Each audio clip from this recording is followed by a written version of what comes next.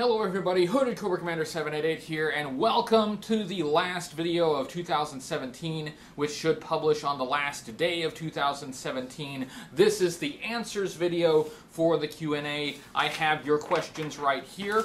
Uh, before I get started, though, there are some specific people I would like to thank. Uh, some folks that have sent some stuff, donated things to the channel. I haven't had a chance to uh, thank publicly uh, before now, so I want to make sure to thank them here.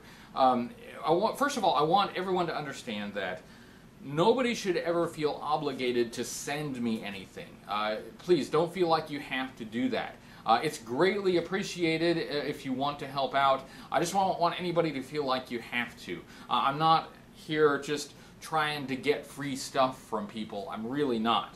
Um, uh, the, on the other hand, the stuff that people have sent uh, has really helped the channel a lot. Um, over the last uh, couple of years or so, some really great items have been sent here that I've been able to review uh, that have helped fill some gaps in the collection, helped me complete a few items. Very helpful. So thank you to everyone who has ever sent anything uh, to me to help the channel. Uh, it's so greatly appreciated. Um, so I want to make sure I thank um, Lawson Allen. Lawson Allen has sent several packages to me uh, with some really useful and cool things. Uh, some helped me complete something and uh, some research material that'll be very helpful. Um, he sent in one of the packages he sent a whole bunch of um, the the catalogs, the GI Joe catalogs that came with the vehicles.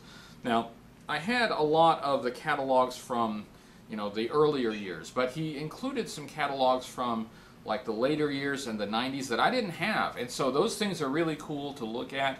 Um, somebody suggested maybe I should do a whole video just looking at those catalogs. I think that's kind of a fun idea. I hadn't thought of that before. So that's something I might do in the future. Maybe I can work that up as like a, uh, a mid-week video or something. Just going through those catalogs. That was really cool. Uh, so thank you, Lawson. I greatly appreciate that. Um, I also want to thank Larry Leora I hope I'm pronouncing your name right. Larry uh, sent me two huge boxes of modern carded figures and boxed vehicles, and it's enormous. Um, I mean, I have a lot of it right here. I mean, I am. I've got so much of this stuff. I'm not entirely even sure what to do with it yet. Um, I'm going to look for look vehicles too. Uh, even like these things, these are cool. Let, let check this out.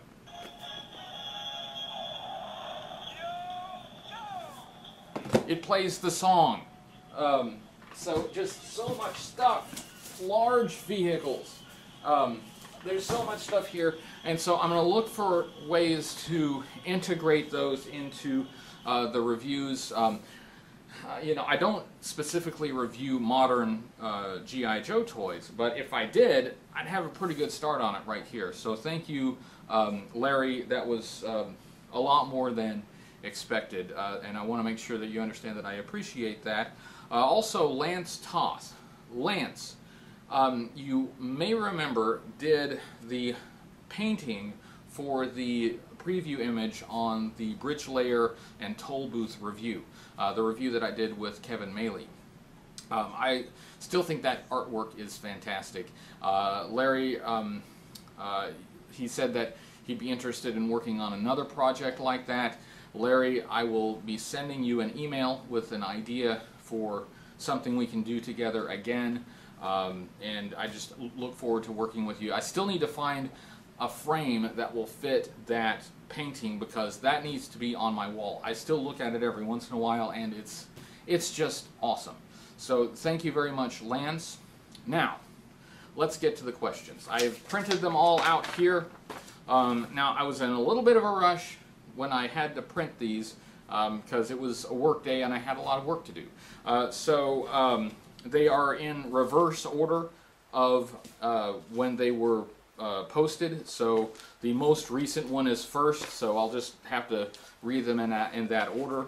Uh, also, uh, you guys replied to some of the questions, and when I copied and pasted them into a Word doc, it did not indent the ones that were replies. So uh, I've tried to mark those so that I'm not I'm actually answering the questions and not your replies. So hopefully I got all those. Without further ado, let's go ahead and answer your questions. The first question on my list, which is also the last question to be asked, uh, is from Cyber Tiger Retro Showcase and Reviews.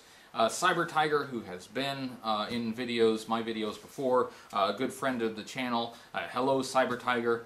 Um, he asks, um, Hoodster, uh, do you think the Joe's inclusion in a larger shared multiverse is a strength for the brand or an ill-advised uh, dilution? Good question, um, and I think it entirely depends on how it's done. Um, I thought one of the strengths of the Marvel comic book series is that it did not integrate G.I. Joe into the Marvel universe.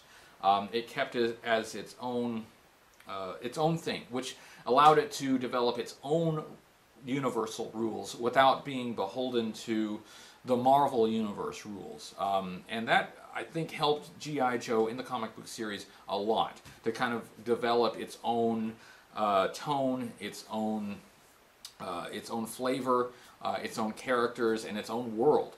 Uh, and I very much appreciated that at the time I was reading the comic book series. So that kind of makes me think maybe including G.I. Joe in a Hasbro cinematic universe maybe is not the best idea. But on the other hand, it depends on how well it's done. Um, I've not been extremely thrilled with other attempts to integrate G.I. Joe into a Hasbro universe. Um, usually they end up playing second fiddle, fiddle to Transformers. Transformers being now the big moneymaker, um, and G.I. Joe isn't really.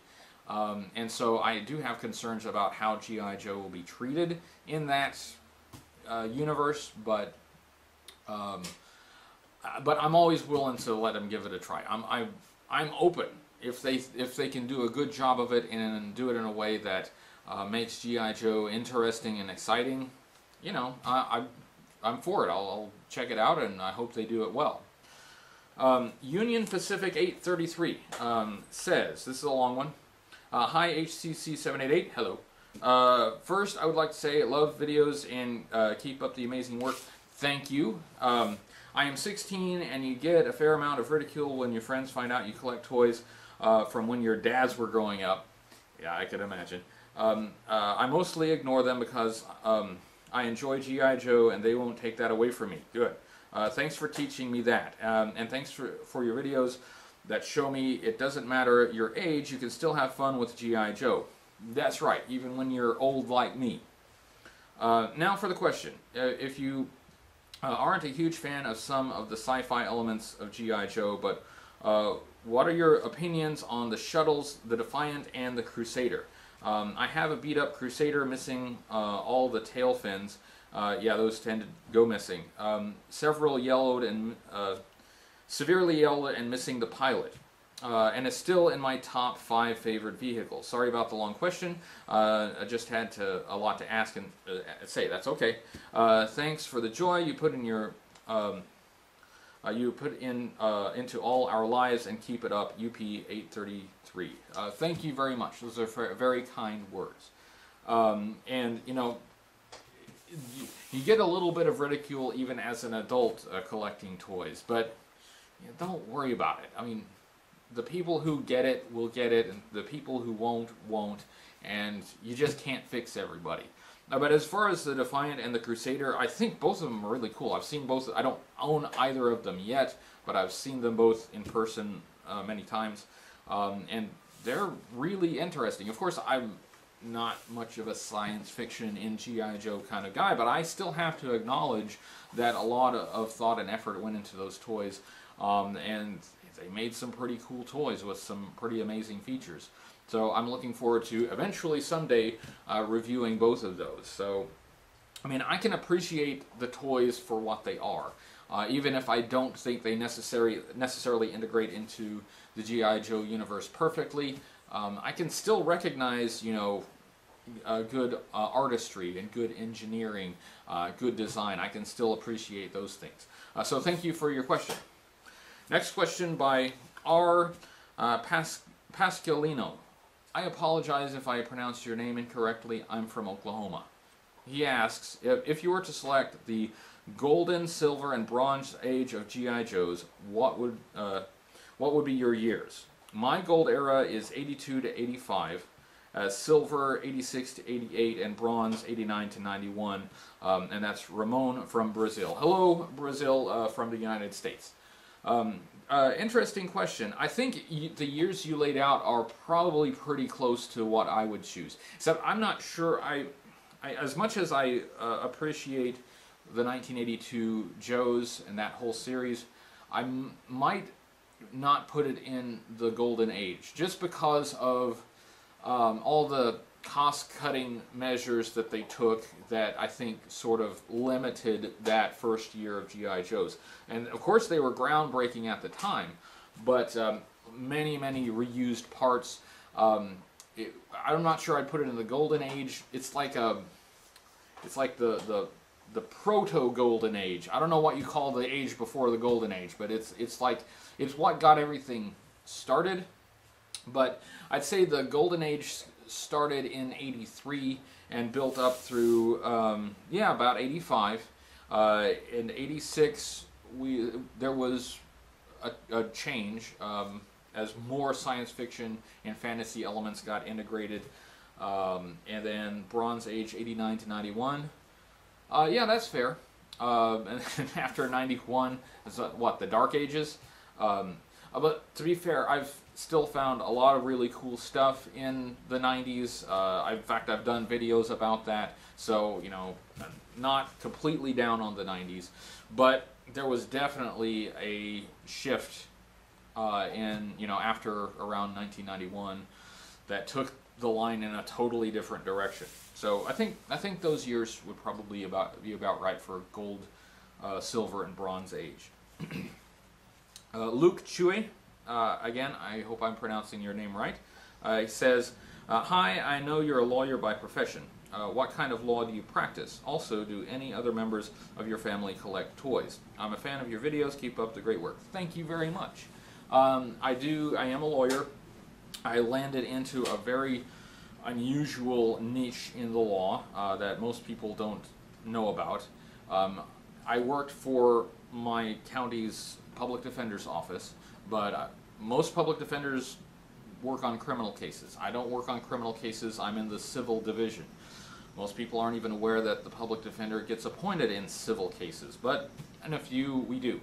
Um, and in my state, the uh, we get appointed to represent uh, people who uh, are being petitioned to be uh, involuntarily committed to a hospital due to severe mental illness. So I represent a lot of people who are alleged to have severe mental illness and to meet the statutory um, uh, threshold to require uh, hospitalization due to their mental illness. So um, uh, those are my clients. Uh, I spend a lot of time in mental hospitals. A lot of time in mental hospitals. Um, the other thing that we do in my group is we represent uh, the wards in guardianship cases. Uh, two kinds of guardianship cases.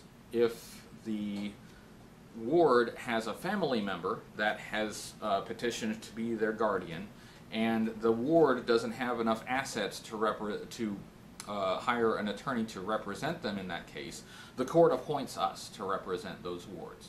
So we go and talk to them and see if they really do need a guardianship and see, you know, if they agree to it or not, or, you know, if not, uh, you know, what's really going on.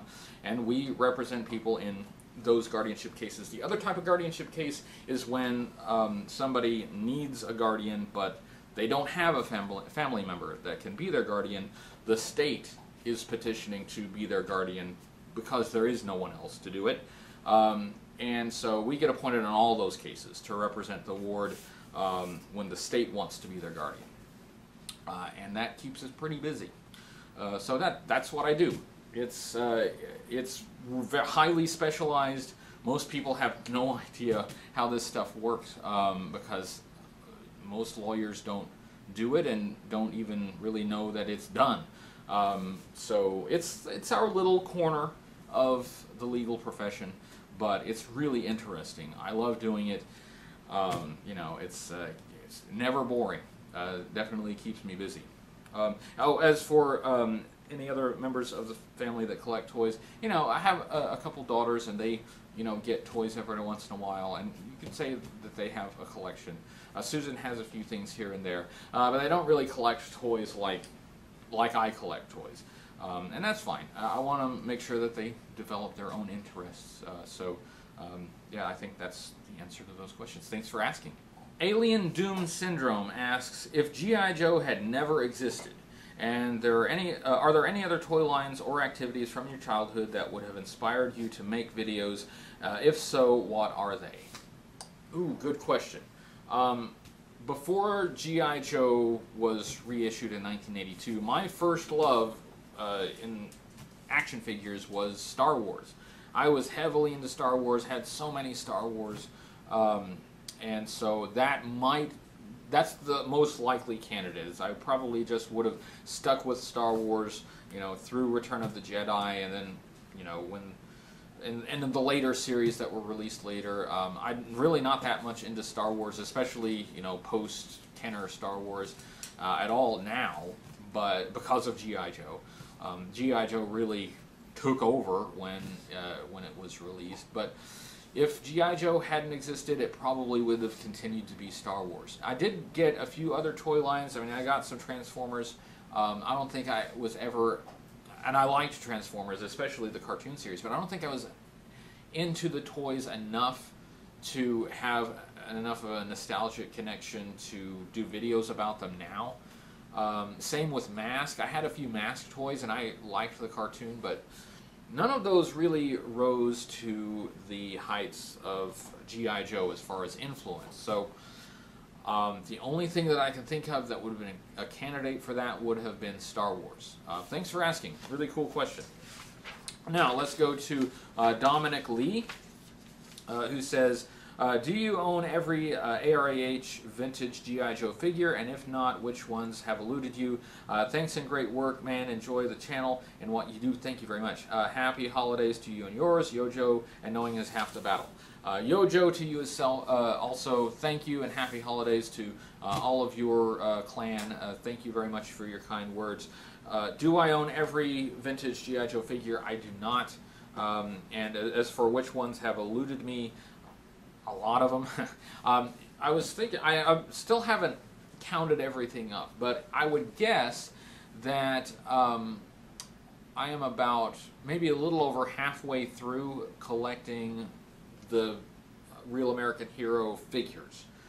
That doesn't necessarily include even all the vehicles, but uh, I'm roughly about halfway through, I think, with the collection. Um, now, some very generous donations. For instance, Max Rebo's Ghost Music uh, sent me a whole bunch of 90s uh, figures. I did an unboxing of those a while back, and that helped tremendously fill these gaps of, in the 1990s of stuff that I wasn't even close to getting yet. Uh, now I have a lot of those, and that was a huge help. Uh, but there are still gaps that I have to fill. Um, I mean, recently I got, I'm pretty sure, my first uh, Shadow Ninjas figure. Shadow Ninjas from 1994. I only got one of them so far. Uh, so there, there's, there are a lot. There are some rare figures that uh, I, I, still need to get, um, but it's not so much the, the, the rare stuff that is a barrier. Um, or even the price of it because I can, you know, I can budget. I can eventually get even the rare stuff, but it's the volume of it. There is so much. If you go through YoJoe.com and just look at how much stuff they put out each year, even straight through the 90s. I mean, look at 1993. Look at how many figures they released in 1993. There is so much. So I think being halfway-ish through getting it uh, is pretty darn good. Um, plus, I enjoy the journey. I enjoy the journey of collecting um, almost as much as having the things is the, uh, the, the, the search, the hunt um, is always fun. So uh, I hope that answers your question. I have a long way to go. Um, so we'll, but I'm making progress. A little bit of progress each day, I think. Uh, John uh, Nahodil, John Nahadil. I apologize, John, uh, for butchering your name, but your question is, uh, being an old G.I. Joe fan uh, like myself, uh, what do you think of the newer, more articulated figures they brought out for the 50th anniversary line? I think they're a step up from an already great toy line. Well, in fact, I did get some of the 50th uh, anniversary stuff. In fact, right here, that's my 50th anniversary beachhead right there. Um, and these figures, oh, well, there goes an accessory that just fell off. A tiny one that uh, I don't want to get lost. There it is. Um, and, well, that's actually illustrates one of my points about um, the 50th anniversary line and a lot of the modern era, era figures, which I now have a lot of modern era figures now, uh, is that um, there's no denying that they are great figures. I mean, the detail, the articulation, um, the accessories, even this really tiny accessories like this crossbow thing. Um, I mean, you look at these and it would be absurd to say that they're not fantastic figures. Absolutely they are. Um, what I think they are, though, is they're fantastic for collectors. Um, when I look at just how they're marketed um, and how they're designed and these tiny accessories that uh, are going to be very easy for a child to lose if, if a kid plays with these. Um, I don't think that they're necessarily marketed toward kids at all. I think they're marketed toward people my age. Uh, and that's fine, especially if you're my age and you like collecting those things. Uh, it gives you some really awesome stuff. And I, that's no exaggeration, really awesome. Uh, uh just really cool stuff to, to collect. Um, and I'm sure there are some kids that get these things and uh, recognize how great they are and appreciate playing with them. But I just don't think they're marketed that way. Um, and I think that's the thing that right now is missing for G.I. Joe is um, how to draw in the next generation of G.I. Joe fan. Um, I'm not, I don't think the 50th anniversary figures necessarily uh, do that, uh, but what they do uh, is give uh, adult collectors uh, my age some really wicked cool stuff to get. So I, I can definitely appreciate them on that level. Uh, Aaron Decker says, uh, as you progress and run out of Joe figures to review, you think you may choose another toy line to review. Uh, if so, what line? also, what direction should Hasbro take to sort of relaunch or update G.I. Joe? uh, instead of G.I. Joe fighting terrorists? Um, okay, good questions. Um, as I run out of figures to review, um, I have announced previously that um, you know there will be uh, an end to this project of reviewing every vintage G.I. Joe toy, uh, 82 to 94. Um, it's a finite project, so yeah, eventually I will run out of stuff to review. What will I do with the channel after that? Will I continue to do reviews? Will I just close up shop? I think I will continue to do reviews something other than G.I. Joe, but as for what that is, I'm not going to say right now because, uh, for one thing, I would want it to be a surprise. Uh, for another thing, it gives me a lot of time to change my mind if, if, I come up with a better idea. So I don't want to lock myself into anything right now. Um, all I can say is I have some ideas but that's all they are right now. It's just just ideas. Um, your other question, questions. Um, oh, what direction um, should Hasbro take to relaunch or update GI Joe? I don't know that I have an exact answer for that. But what I'd like to see them do is really focus like a laser beam on getting new fans in. Uh, I do not need them to make something that pleases me or that is aimed at me at all. Um, I, have got my era of G.I. Joe. I don't need anything else. What I'd like to see is new fans. And if they can bring in new fans by, you know, rebooting and doing another iteration of Real American Hero with Duke and Cobra and Snake Eyes and all that, great. You know, if they can modernize that in a way that draws new people in, fine. Uh, if they can't do that, though, I am also okay if they go in a totally new direction, as long as it works. As long as it is done with care and thought and intelligence and draws in a new generation of fans, I'm okay with that. I have some ideas about what might work for that, but um, but um, there's very general ideas. I, I don't really have any specifics on that. I just hope they do something, do something great with it that will give us an, another generation of fans. Uh, Jason Karist says, uh, "Are you planning to return to the old Marvel run of GI Joe comics?" Uh, I would love to. I just don't have the time to do it. That has been the thing I wanted to do probably the most with this channel is get back to reviewing the comic books. It's been now a couple of years, I think, since I've done that. Um, but as it stands right now, I just am barely getting the weekly reviews done. Uh, more and more work has to go into them, um, and I'm having less and less time to do other things. Um, every once in a while, I'll throw uh, up a quick, short video in the middle of the week those are easy to produce though because they take only barely uh, more time than just sitting and uh, doing the shooting. The editing's really easy. Uh, they're short, so they don't take a lot of time to render. Uh, but the comic book reviews are a lot more time consuming, uh, take a lot more time to edit, and um, to do those, I would have to cut out something else. Uh, and right now, I don't want to cut out anything else. So um, uh, I don't know how I can bring that back, but that's like probably the number one thing that I would like to do is bring that back if I could. Um, Todd Humphrey uh, says, in your opinion, uh, was there a single character or vehicle that marked when GI, the G.I. Joe toy line jumped the shark uh, from realistic military to more fantasy-based toy line? Well, um, they, they were bleeding in more science fiction and fantasy stuff you know, really even starting in like 84 with Zartan. You know, Zartan is not realistic, uh, but, you know, it was still more military focused and it kind of uh, gradually drifted away from that uh, through 86. Um, but for me, the um, watershed moment was uh, Cobra-La in the animated movie. That was it. I mean, that was jumping the shark for me. That was that was like the GI Joe that I enjoyed.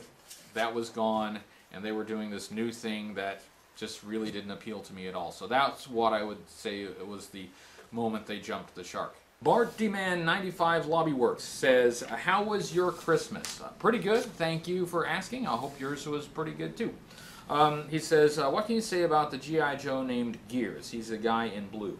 I don't know very much about gears, so I will have to look into that figure. So I guess I don't have much to say about him at all, um, at least not right now.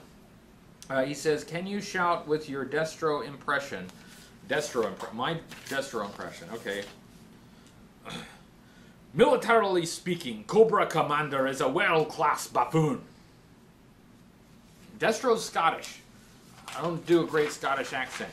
Uh, anyway, that's Destro shouting that thing that you wanted. Uh, thanks for uh, thanks, and, uh, and I hope you had a good Christmas. Happy New Year to you.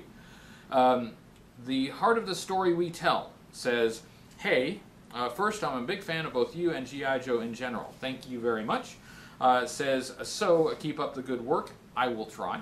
Um, but on my on to my question. I know you are a classic GI Joe guy, and that means 80s, mid 90s. Um, uh, hey, some of those 90s figures you even like. I do even like some of those 90s figures. Uh, but I wonder what you think about the O-ring figures they released post-2000 before they went to modern figures. I ask because those figures um, all, uh, always seem to get lost. Uh, too modern for classic collectors, too classic for modern collectors, uh, but I've found some great concepts there, uh, like the vehicle pattern and color uh, on Python Patrol figures? Uh, good question. Now, I wouldn't have been able to answer that question if not for the generous gift of Larry. I actually have some of them now. In fact, um, let's see, this these are O-ring figures that came with the reprint of classic comic book. Um, and I've got, got more. Uh, yeah, yeah, some Dreadnoks here. Um, and I haven't opened these uh, yet, uh, so I haven't been able to play around with them, see how they are. Uh, but my immediate impression is uh, they are not bad. Uh, in general, I think I like the colors of the classic figures over um, these new colors that they gave them. Um, and uh, but they they all got new head sculpts, and in general, the new head sculpts are are pretty good. Um, I think on some of them I would have liked I, I liked the old head sculpt better, but they actually made the the newer heads more in scale with the body of the figure. Uh, some of the old heads could be a little kind of too big, uh, you know, because they're toys. Um, but uh, so there's some improvements on these, I think. Um, and but I mean, look at these. If you look at these, with the classic comic book and the classic uh, O-ring figures, um, these look to me like they are marketed toward older collectors who uh, remember these comic books and uh, would like to relive those days again. I mean, these are uh, marketed even with like, you know, uh, you know, old file cards and all the classic logos and everything. Um, not something that's designed to bring in new fans, but something that's supposed to appeal to someone like me.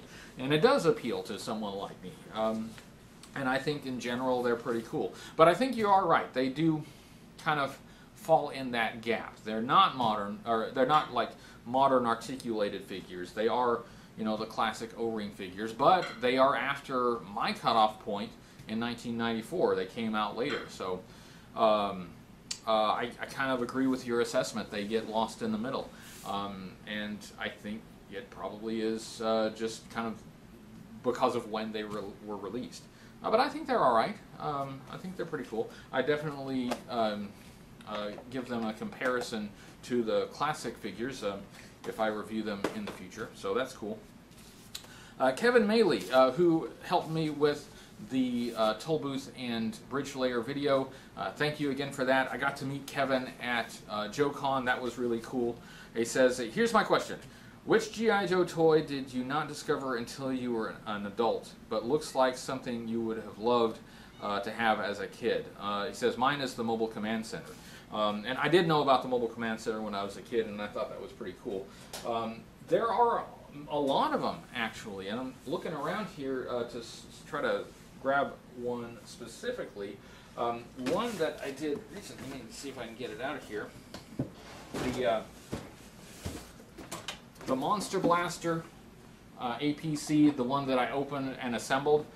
Um, you know, it's I wouldn't have liked the colors as a kid, but the toy itself uh, is really quite interesting, and I think I would have liked it. Um, and I've done some reviews, you know, several reviews, in fact, of figures that came out after I had left G.I. Joe. I didn't know anything about them, but I'm pretty sure I would have liked them. Um, I can't reach the figure because it's over there, but Interrogator, pretty cool, and I'm sure I would have liked that as a kid. So there's a lot of them, um, and that's one of, been one of the great things about this project is discovering uh, new things that I didn't even know about, but uh, are still really cool. All right, uh, Skunk Ape, uh, another friend of the channel uh, who helped out with the uh, clean sweep review. Uh, that was a lot of fun. Thanks, Chris. Make sure you check out his stuff. Um, he says, "Are there any figures or vehicles you have concerns that you will never be able to obtain. Uh, maybe there's something uh, really rare or expensive. Yes, yes, yes. Um, previously, I thought the big problem would be the Cobra Missile Command headquarters from 1982, that, that cardboard playset. But I see those come up every once in a while. They're expensive, but you know, expensive is just a matter of you know waiting and accumulating the funds to get it. I can do that. But um, the Sears exclusive uh, Dreadnok vehicle sets, the uh, ground attack set and the air attack set, um, those seem difficult to find complete and intact and in a condition that would be ready to review. Those I think will be difficult and, and expensive and hard to find in any condition. Um, and there are variants, especially the motorcycle that came with the ground attack set. So I got to hunt down variants. and to top it off, I don't really even like the vehicles, so I gotta like pay a whole bunch of money to get these vehicles that I don't.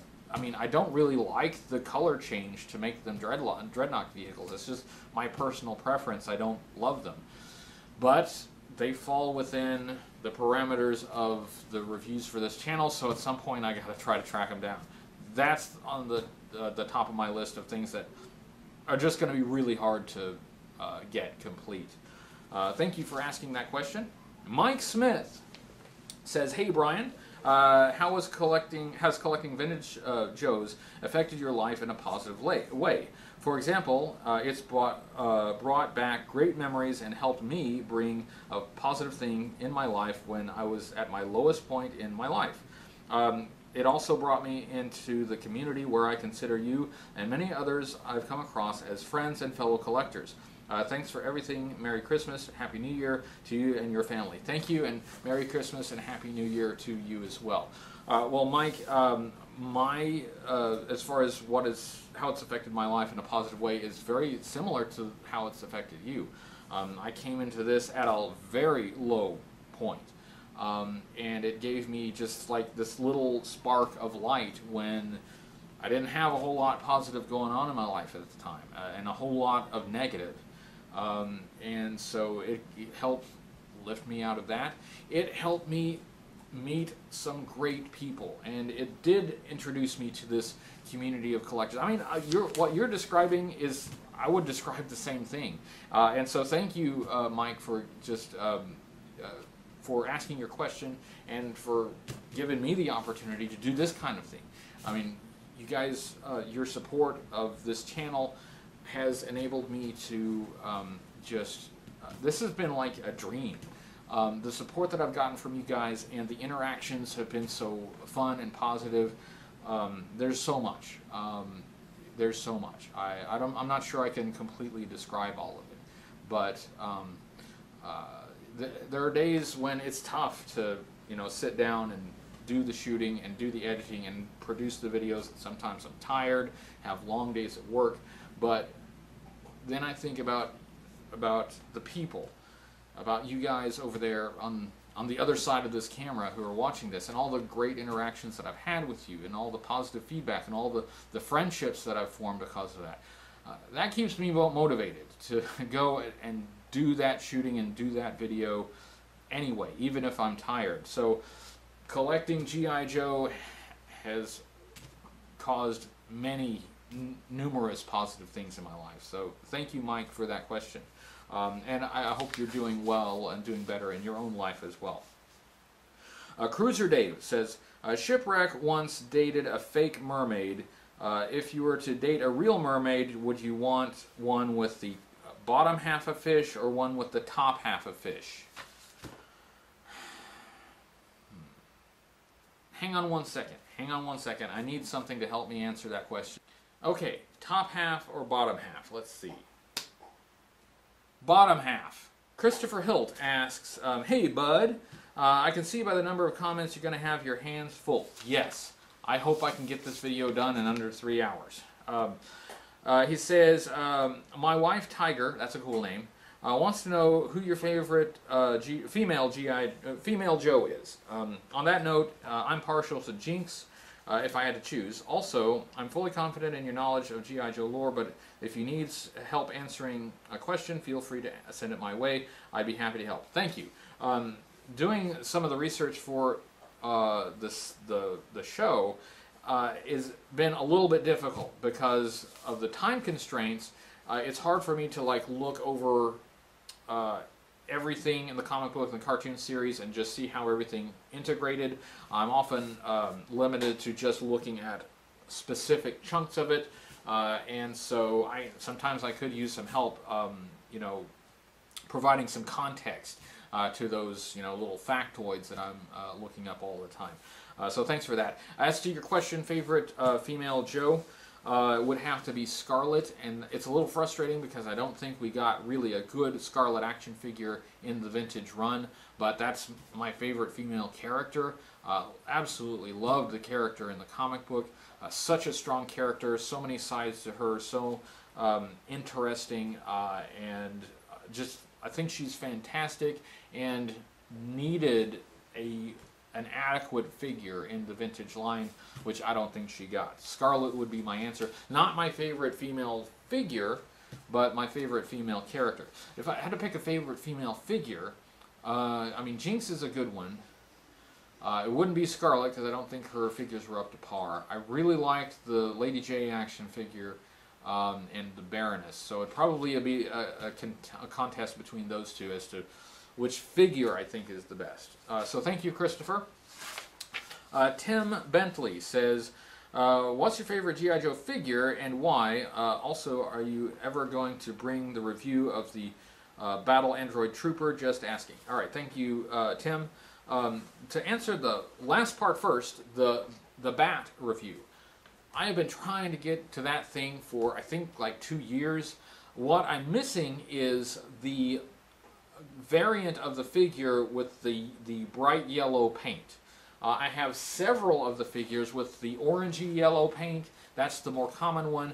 Um, I have not been able to nail down to one with the bright yellow paint. I'm still looking for one. I don't need the figure complete. I only need just the figure to show as an example of the variant. I, I, I don't want to just describe it. I do want to show the variant. But every time I think I got one, you know, it turns out to be the same one that I already have. Sometimes the colors don't come out exactly uh, correctly in photography. Um, so if you're ordering one online, you might think you're getting the yellow variant, but it's just the lighting made it look that way. Uh, and that can be pretty frustrating. So that is what's keeping me from doing the BAT review. Man, that is one that, ooh, I want to get to soon but I'm just not ready. That and the Crimson Guard. I actually have quite a ways to do to go to get Crimson Guard ready. File card variants, accessories variants. That's going to take some time, but definitely want to do the bat review. The first part of your question, uh, favorite uh, GI Joe figure and why, um, uh, is uh, version one, really probably version 1.5 of Stalker uh, from '83. Um, and I, I had the straight arm stalker in 82, one of my favorite figures. I think that figure actually belonged to my brother, so I had to borrow it from him if I wanted to play with it. But that figure, I think, had the most impact on me at the very beginning of the toy line. Um, I mean, the figure itself was special with the camouflage paint pattern. And then when I, I uh, discovered the comic book, the character was awesome. He was used to great effect in the comic book. Um, got a lot of development. He was integrated into the backstory of like um, the ninjas, uh, Storm Shadow and Snake Eyes. Um, he was a great leader. So much to like about Stalker uh, that influenced my love for the figure, and I, and I loved the figure even before I read the character. So uh, that's that all for all time. That'll be my favorite figure. All right, and Ryan Sweeney says, uh, what figure or vehicle that you reviewed in 2017 uh, did you have a low opinion of uh, that changed when you reviewed it? Uh, that's a good question. Um, uh, usually I, I can kind of figure out, you know, as I'm preparing for the review, how I'm going to feel about a particular figure or vehicle. Uh, but one that changed, like, I was almost done with the video and I changed my mind was the the uh, uh, Iron Grenadiers Demon tank, uh, which I had pegged for the middle tier. It wasn't one that I disliked at all, um, but I had it pegged for the middle tier. But just as I was going through and, and playing with it, and I just I felt like it needed to be in the top tier. I felt, felt like it was better after the review than my first impression of it. Uh, and again, my first impression wasn't bad. It was just um, it turned out to be better than than what I first thought. Uh, that's the first one that comes to mind. Um, what else? Uh, let's see. I mean, I was, I was surprised at how much I liked Interrogator, but um, I, I, was pretty confident I was going to like the Interrogator before I started reviewing it. Um, but yeah, I think the Demon Tank is the first one that comes to mind. Uh, thank you. That's a really cool question. Um, Matt Lurch says, um, if you could create a figure of yourself by picking any job you uh, have and uh, had and picking any faction in the Joeverse, okay, um, what would the file card read as? File name, code name, uh, primary uh, and secondary military specialty, uh, qualifications, uh, and a quick quote. Wow, that's, I don't know if I can answer all of that. That's a lot. Um, I, let me think about that. Um, secondary military specialty would probably have to be like legal services. Um, and um, primary military, you know, I am not an int- infantry sort of guy, um, but as a kid, I had the most fun playing with the infantry troopers, uh, the ground pounders, the bullet catchers. Uh, to me, they were the heart of G.I. Joe, and if I were to make a G.I. Joe figure about myself, I would be right in there. Um, and hey, I'm an action figure, right? I'm not really, really me. Uh, I can have the action figure with, uh, you know, with the muscles and the guns and the camouflage. That, that would be it. That would be the primary military specialty. Um, you know, if I were to make a figure about my, uh, of myself, it would probably end up looking a whole lot like uh, Falcon uh, but with the beard. So just copy Falcon, uh, put my name on it, um, code name, um, code name Hoodster, uh, and um, uh, and just copy and paste that, and that, that's that's my figure now. Uh, give Falcon a beard. That's it. Um, that, that's the best I can come up with right now, I think. Um, now, Toy Guy, 1182 uh, says, after you finish your journey through the vintage GI Joe line, where do you plan to take your channel from there? This is similar to what was asked before. I have an idea. I don't want to say what the idea is yet because I want to leave some space for me to, to change my mind if I come up with a better idea. Um, I don't think I will just shut the channel down. I think I will continue to review things, but as to what that will be, um, that is for the future to know. I, I cannot give that away just at this time. Uh, but thank you for asking Toy Guy. Uh, Clockwork Cowboy Steam Powered Sheriff. Great name. Uh, says, What's your opinion on the convention exclusive O ring figures from the past? My favorites are the Crimson Vipers and Sergeant Slaughter and his Renegades. Well, I wasn't going to the conventions way back then, so I can't give a lot of information about it. I don't have a lot of first first-hand knowledge about it. I know that a lot of the older, you know, old school collectors um, still admire those sets uh, and that's pretty cool. Of course, I have I have more experience with um, the convention exclusives from the last like five years because I've gone to those conventions. But those are all those aren't O-ring figures. Those are all modern era figures, and some of those look pretty cool. But as you may be aware, uh, those modern era figures mainly you know reuse older parts uh, with very little new added to them. Uh, I know that's a complaint that some collectors have about the convention exclusives. I don't get the convention exclusives um, since I'm not a modern era collector, uh, but I have seen them and they do look pretty cool. But I, I just don't have a lot of uh, insider knowledge about the old ring style that came years before. Um, Mr. Chaban, Mr. Chaban says, um, with so much talent going into the illustrations on your for your channel, thank you. Um, that's not all me. Uh, other people help, have helped me with those too. Um, so how would you feel about um, uh, giving a motion comic a go?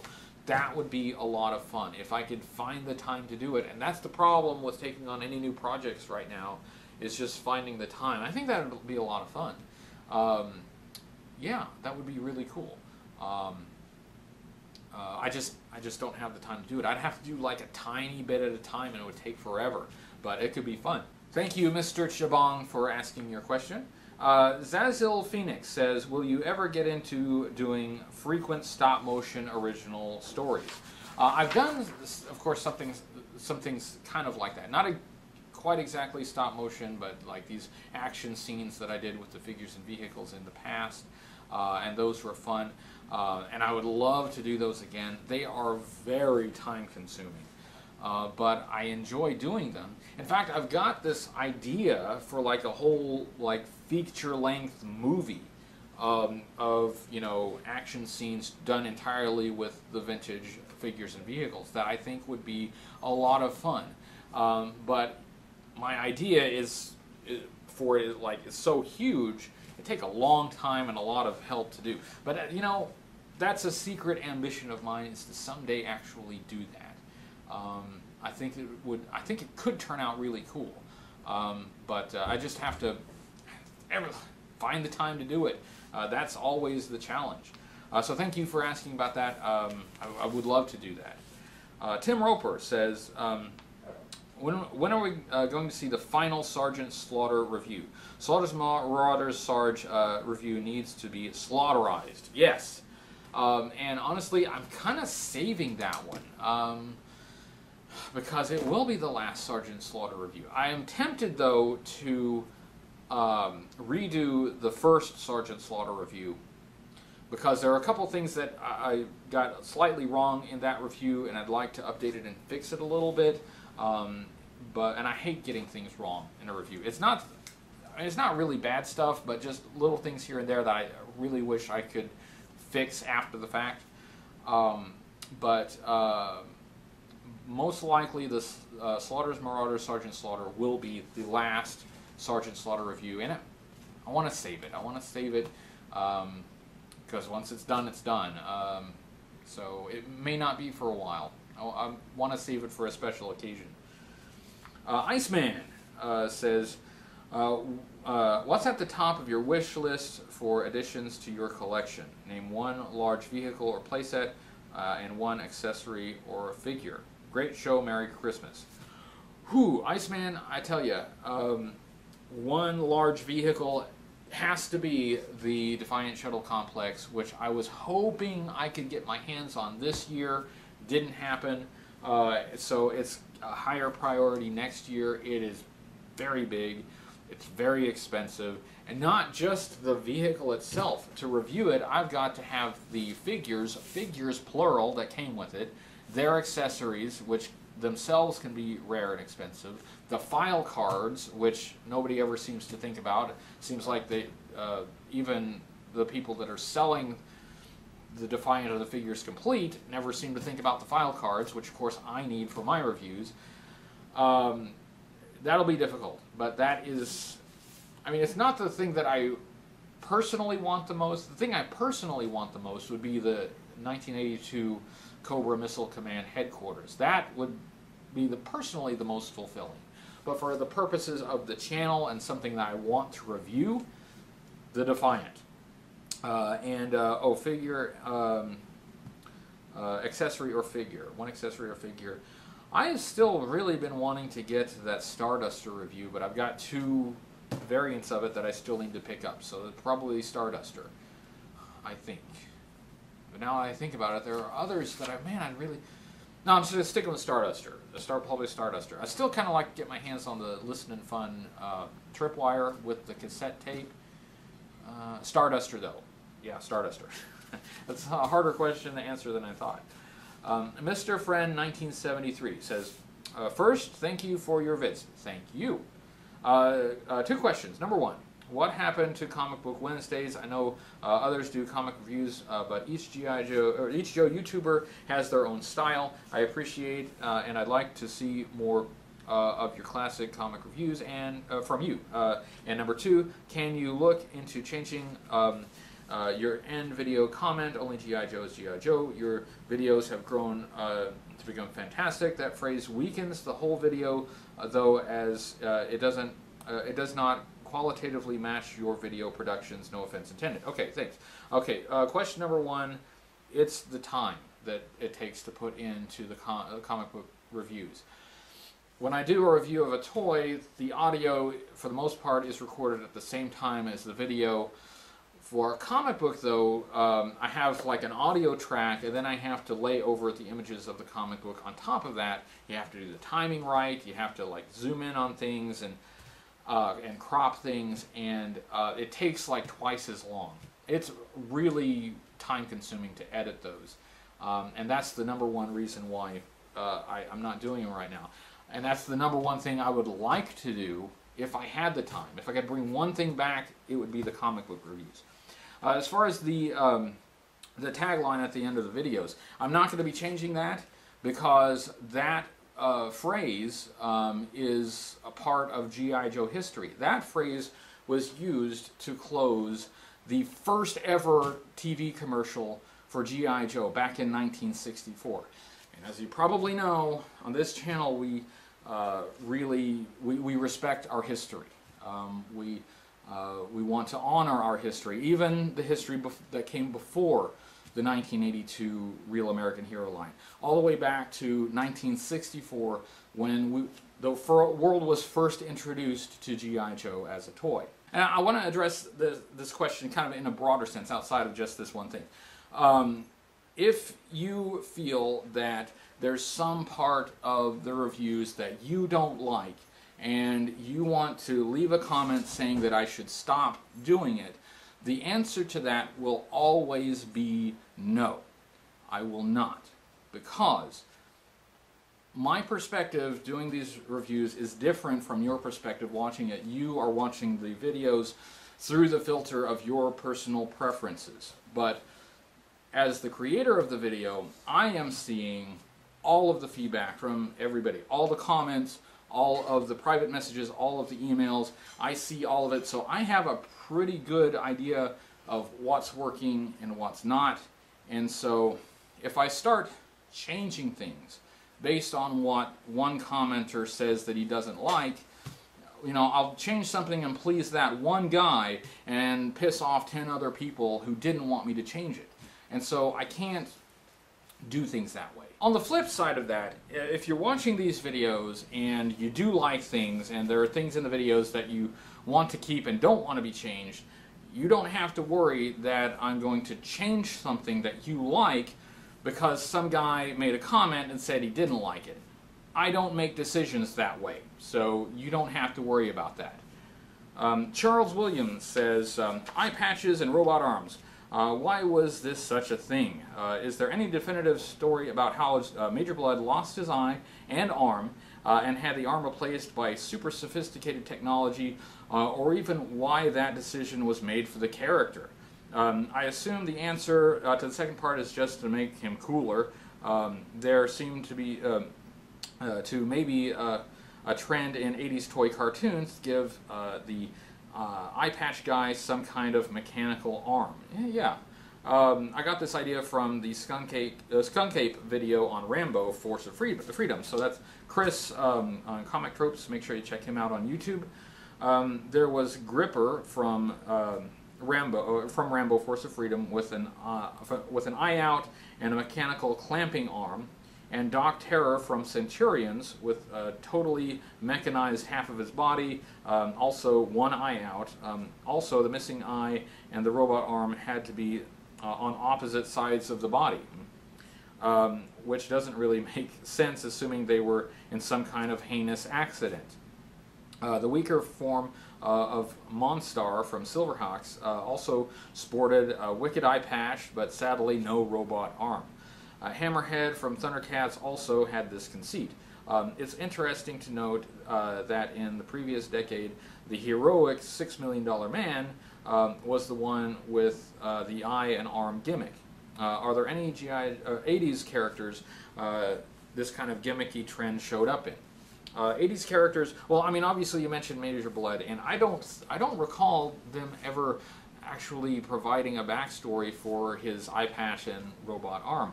I'm not sure that they had one. You know, it just kind of hinted that he had some some history uh, with some some injury, and of course, it did make the character a little bit more interesting. Um, but uh, you mentioned six uh, six million dollar man. Before that, even uh, the first 12-inch GI Joe had a scar.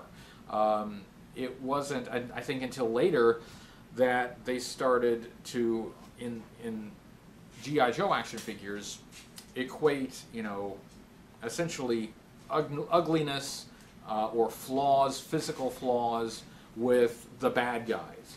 Um, if you know if you were uh, perfect looking, if you looked like Duke with the square jaw and the perfect teeth, then you're the good guy. Uh, if you deviate from you know what is uh, aesthetically pleasing for the norm, then you had to be a villain. I mean, that was the whole idea behind the Dreadnoks. They were all uh, ugly nonconformists. Um, so I, I, just think that maybe was an 80s thing. It was kind of an 80s shorthand to, very easily let you identify who the villains are. Um, and maybe not uh, the uh, most thoughtful way to do it because you know it does equate basically almost any physical flaw with uh, with villainy. Uh, but uh, but I mean, what isn't always the case? First, GI Joe was the one with the scar, as you point out. Um, a six million dollar man. He was the one with the, the physical injuries and the, the body parts that were replaced with robotics. Um, uh, I wasn't in the 80s, but Robo Joe, kind of the same thing. Uh, except, except he got to be a good guy, so he, he bucked that trend. So yeah, Robo Joe, um, the shining example of progress in G.I. Joe. KV467 asks, I'd like to know more about how you played with the toys as a kid. In the house, in the backyard, did you ever make dioramas? Uh, I didn't really make a whole lot of dioramas. As for how we would play, sometimes we'd play indoors, sometimes we'd play uh, outdoors. Um, that's how a lot of our accessories uh, got lost, uh, playing with G.I. Joes uh, outdoors. How we played? Okay, I have a, a, brother who's a little bit younger than I am, but we were still both in the age range to play with G.I. Joe together. And we had a friend in the neighborhood named Sam. He lived about half a block down the street. Um, and so the three of us would often play together, like every day. Uh, and we were, all three of us, super into G.I. Joe. Um, and we would all just kind of share our toys. And uh, between the three of us, um, we had almost everything in G.I. Joe from 82 through about, I think, 86. I'd say in about 87 is when we stopped really trying to get everything. Um, but uh, we, there were a few things that we didn't have. I don't think any of us sent off for any of the mail away stuff. But the retail stuff, um, most of it we got. We didn't get all of the Sears exclusive stuff because a lot of times we just didn't know about it. If we had know about, known about it, we probably would have got it. But I mean, we had practically everything between the three of us, and we just pool all of our stuff together. Uh, either we'd go over to his house or he'd over, come over to our house, and we just have epic battles. We'd have storylines that would go over several days. Um, you know, uh, it was huge. Uh, and we would, you know, do it until we got tired of one particular story, and then we just start over, just start in a whole new direction. Or sometimes we would like start small, like we want to have like this one specific battle um, between uh, these guys, GI, some GI Joe guys versus Cobra guys. Um, and sometimes a bigger story would come out of that, uh, and we just kind of follow that along to wherever it went, and it was it was a lot of fun. Uh, so that's usually how we played. It's the three of us, um, either indoors or uh, outside, um, and uh, just with huge battles, but not just battles. We had like whole storylines going on. Usually, it, it, really didn't tie in very much to the cartoon or comic books. Uh, we would just make up our own thing um, and uh, just have a lot of fun with it. That's usually how we played with the toys. Michael Johnson says, Thanks for running an awesome channel. Thank you. Uh, Merry Christmas to you and your family. Merry Christmas to you. Uh, a little late, but uh, the same as, as, to you as well. Um, in a past video, you said you'd enjoyed visiting Britain. Uh, I'd like to ask where you visited and what you liked about it. Um, Susan and I did very much uh, enjoy visiting the UK. Uh, we spent a lot of our time in London and saw many things in London. Um, of course, there's a lot there, so even you know spending a week there and doing a lot of activities every day, we still weren't able to see everything. Uh, but it also uh, we took a little side uh, adventure uh, out into Nottingham. So we got out of London for a little while. We took a train up to Nottingham uh, because I have a friend who lived up there. He actually lives in London now. But I wanted to visit a friend there. Um, and Susan is a big fan of Russell Howard. And he was doing one of his comedy shows there in Nottingham. So we went to that. We got to see Russell Howard in person uh, in you know his one of his shows. So that was fun. Uh, that was a Susan thing. She's a big fan. So um, we lo loved a lot about the UK um, and, and London in particular. Um, the underground uh, uh, system is fantastic. Uh, we were able to go everywhere we wanted and do everything we wanted. Um, we just wish we had more time. Uh, and that's one of the, our goals this year is to go back, see some friends again, uh, see some new friends that we've made since then, um, and also see some of the things that we didn't have a chance to see the first time around. So, yeah, we love it. And, you know, we're shameless tourists. There's no way around that. But as tourists, we had a great time. Uh, it was a lot of fun. Um, now, uh, Road Pig John uh, asks, uh, what do you think of the, of the 1988 Destro action figure with the gold head uh, that was never released uh, and appeared in the 1988 G.I. Joe catalog? Two years ago, I made a custom of it because it looked pretty cool uh, if, if, compared with the one they released. Um, and there's a link here, and I did go check out that link uh, when I saw this question, and it's really interesting. It looks like uh, for like a prototype uh, for the catalog, they repainted the version 1 Destro chest um, and uh, in kind of the version 2 colors. Uh, it looks really interesting. I think I still probably prefer the version uh, 2 that we got in 1988. I do like that kind of futuristic military uniform they gave him. Uh, but uh, I could, I, would be really interested in seeing your custom of it. I think that could be really cool.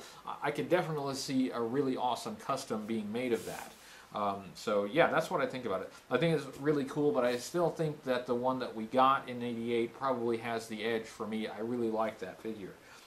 Uh, Joe Fan 82, another great uh, friend of the channel, uh, has a great YouTube channel himself. Uh, he uh, reviews a lot of modern era G.I. Joe figures, like a lot of the stuff that I have in this box right here. Uh, he's got a great channel, check him out. Um, he says, as a kid, what were your favorite TV shows, live action or cartoon? Well, as a kid in the 80s, it was a great time to watch TV. I loved the A-Team, uh, Knight Rider, uh, Airwolf, um, just all of those actiony shows that were kind of aimed at young boys. Man, I dug all of that stuff. As for cartoons, of course, I watched G.I. Joe sometimes, and Transformers, loved Transformers. Uh, the cartoons. I loved the cartoon series more than I even liked the toys uh, for Transformers. But like, I always got up and watched Saturday morning cartoons, and there were dozens and dozens of weird and wacky oddball cartoons uh, from back then that still kind of stick in my mind. There's a, a cartoon called Gilligan's Planet. It was absolutely ridiculous just bonkers, but I just loved the thing. Um, and what else was on Saturday mornings? Like a lot of licensed stuff. Like there's a cartoon about the Rubik's Cube. It was weird. And I seem to recall, like, way, way back, there was a cartoon of the Lone Ranger that, uh, for some reason, I just really enjoyed. I connected with that and enjoyed that a lot. Um, and uh, just, I just liked turning on the TV on Saturday mornings and just watching as many of, of those cartoons. I really like the Hanna-Barbera cartoons. They, a lot of them were really goofy and weird, but I enjoyed that era of cartoons a lot. So yeah, man, the 80s was a great time to be a kid and watch TV. And I, just, I was a sucker for all of that stuff that was kind of aimed at my age group. Um, Bebo uh, says, um, I once scored a fully intact original Night Raven at a swap meet for $10 uh, and an original Castle Grayskull with all of its accessories for $2.99 at Goodwill.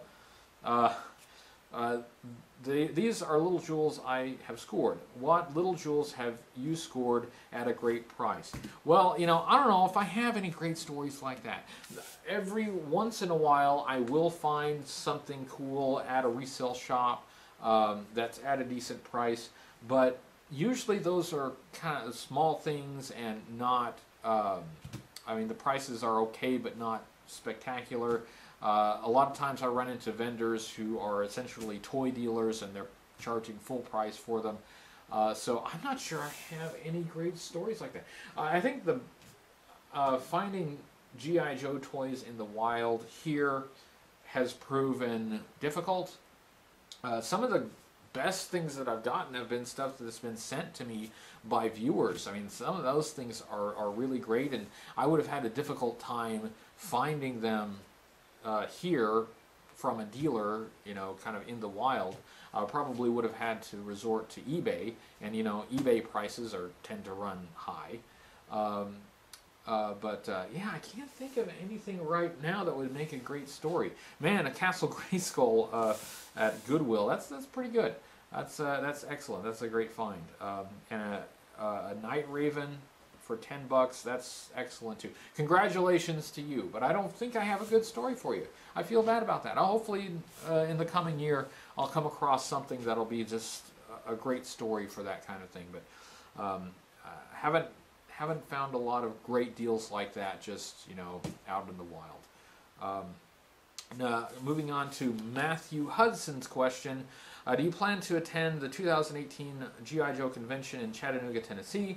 I apologize if you already answered this elsewhere. I'm new to your videos. Well, welcome. Uh, it's always nice to have people who are new to the videos. I'm glad you found uh, the channel, and I hope you uh, enjoy them. Uh, I am planning to attend JoeCon in Chattanooga, Tennessee uh, next year. I've been able to go for the last, what, I think four years? Four or five years, something like that. Um, I haven't missed a JoeCon. I've been to... Um, all of them. Um, I only wish I could have gone to them earlier. I didn't. I mean, uh, I didn't. I wasn't collecting GI Joe at the time, so I didn't know they were doing JoeCon until I started to become a collector, and then discovered, hey, they have a convention. Um, so I only wish I could have gone to the earlier ones. It does look like the 2018 convention will be the last one. I wouldn't miss it. I got to be there. And um, uh, as you may or may not know, uh, the guys from the G.I. Joeberg podcaster, they're going to try to make it over too. Uh, they've got uh, you know a crowdfunding thing that they're doing to try to get them over here. I'm going to help with that, and I hope they can make it uh, because that would be awesome. Uh, so I'm going to encourage as many people as they can to, uh, as, as, possible, to go to that last JoeCon. You know, make it you know one for the history books. Make it a great one, and I hope to see a lot of you there. So yes, the answer to that, the short answer to that is yes, I plan to be there. Um, and welcome to the channel, uh, Matthew. Uh, Lander Extremo says, uh, "Sorry for my poor English. No need to apologize." Um, uh, is the fail failure of G.I. Joe in Japan the cause of the dead or death of the line? A Takara slash Hasbro partnership on Transformers uh, working very well even today. Uh, if Tara, Takara uh, cares about G.I. Joe too, maybe the line is still going or Transformers is better concept um, and G.I. Joe is doomed anyway. Or, or, okay, or is Transformers a better concept and G.I. Joe doomed? Okay, I understand your question. Um, the answer, though, is I don't think um, like the failure of GI Joe in Japan is necessarily the cause of uh, the death of the line. It may be more of a symptom of it. Um, uh, Transformers has a little bit of an advantage there in that it kind of originated in Japan uh, and then was uh, imported over here. Uh, and Transformers does have a concept that is maybe easier to um, to keep going for a long period of time, whereas G.I. Joe being more military centric um, will tend to uh, to have eras. You know, it'll have dry spells where um, it just isn't going to be in the public consciousness enough. But then the next iteration will come around and it will be reborn. So that's kind of what we're waiting for in G.I. Joe. Um, I think we will eventually have a new iteration for a new generation. Uh, but G.I. Joe is cyclical. It comes in cycles, and we're in kind of a down cycle now, and we have been for a little while, but I think there will be an up cycle again. Okay, sorry, I had to stop and get a, a drink, uh, drink of water. So let's move on to uh, Jedi DB. I assume DB stands for defensive back. Uh, Jedi DB asks, uh, okay, this is sort of a twofer. One, uh, I know you're an attorney. What kind of law do you practice? Um, and uh, the answer to that is uh, mental health and guardianship cases. Um, and the other question is, what is the one classic G.I. Joe or Cobra figure that you despise to the point of wishing it had never been created? Um, uh, that's it for me. Have a happy new year. Don't party too late with the Dreadnoks. Okay, I'll try not to. Uh, but I can't promise uh, not to drink uh, too much grape soda. Um, now, the second question, I think it's got to be Golobulus. I really dislike Golobulus both in concept and in execution, um, both the character and the figure. Uh, it is attached to, I think, some uh, poor choices made with the uh, animated movie. Um, I shouldn't say poor choices. I know some people really liked it, and if you did, great. I, I should say choices that I didn't agree with and I didn't like uh, that I wish they hadn't made. So, yeah, Globulus uh, springs to mind. Uh, that would be one that I would. Oh, and you know, this came up on uh, in the, the, Facebook group uh, GI Joe discussion, and um, Kirk Bozigian, who was in charge of GI Joe at the time in the 80s, um, he agrees with me on that. His answer was also Globulus. Therefore, we've got to be right, right? I mean, there's no reason for further discussion. Kirk Bozigian agrees with me, so it's Globulus. Uh, I'm just kidding, though. People like Globulus. If you want to like Globulus, that's fine. Uh, um, Fragminian asks, um, most trouble you have ever had uh, getting a toy through the mail? Uh, silliest skit you ever thought up for the show, in your opinion? Silliest skit? Oh, they're all silly. Uh, but for the first uh, answer to your first question, um, I ordered um, a uh, a Mickey Mouse Cobra Commander and a mail away Duke file card from the same source. Um, it was sent. It was mailed to me. It was shipped. Actually, they didn't do anything wrong. They packaged it fine. They shipped it to the correct address.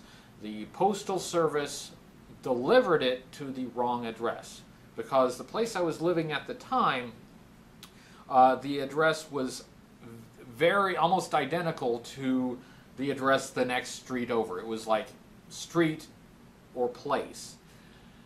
They delivered it to the person one street over. Uh, and I contacted uh, uh, the Postal Service. I opened a ticket about it. They were extremely unhelpful. Uh, they were ignoring my actual problem and not actually investigating it until at some point I gave up on them. I suspected what happened, um, and so I decided to check for myself. So I went the next street over and check, knocked on my neighbor's door, asked them if they had a package. They said they did, and so I finally got it, but I had to take matters into my own hands. The Postal Service could not tell me what happened to it, other than that it was delivered. Uh, and I, you know, I, I was, I could have opened um, an insurance claim on it, but I wanted the figure. I wanted the figure at the price that I paid for it and the file card, and I did get it. I finally got it, but that was a hassle, and uh, U.S. Postal Service um, didn't help very much. Uh, and it was their screw up. They, the, it was the correct address on the label. They sent it to the right place. It's just the Postal Service delivered it to the wrong place. Uh, anyway, uh, next question Kurt Road Trip. Uh, oh, I'm sorry. Oh, I forgot uh, the silliest skit.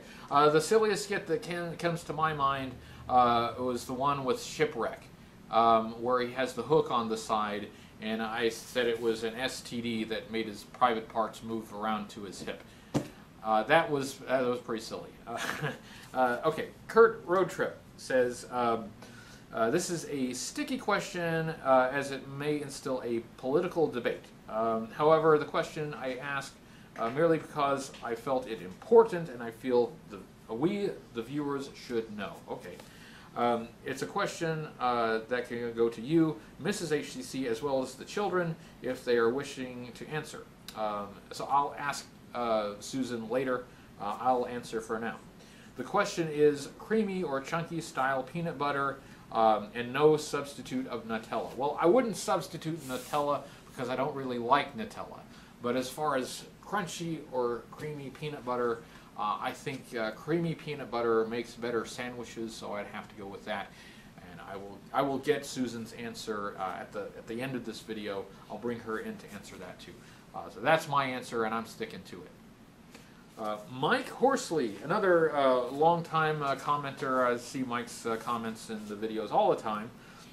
oh, and this is for Susan as well, for Mrs. HCC. how does being the wife of a collector feel when the space starts to run out? LOL. Uh, I will ask her that. I will bring her in at the end of this video to ask, answer those questions. Let me just make sure that I mark those and don't forget about them, so uh, we'll ask Susan that question later. Uh, Mike Horsley also asks another question. He says, Neon colors aside, what are your thoughts on Eco Warriors and might you be reviewing more of them in the future? We'll definitely review, review more Eco Warriors in the future. Um, and yeah, it's setting the bright colors aside. I mean, there's a kernel of a good idea there. It, it's, I mean, it could have been made into something really very interesting. I mean, the idea of a faction of G.I. Joe that has to fight, to fight against uh, ecological terrorism is not a bad idea. And it could tie into some real world scenarios uh, so you could actually bring some realism into it. I think that there's a good idea there. I think what kills me with Eco Warriors is the the lack of sincerity. Uh, it's um, really feels to me like a cash grab. Uh, it feels like something that was just tossed out there because Captain Planet was popular at the time. Um, and I don't, to me, it doesn't feel like there really is an environmental message there. It doesn't feel pro-environment. It feels faux environment. I just made that up. It's faux environmentalism.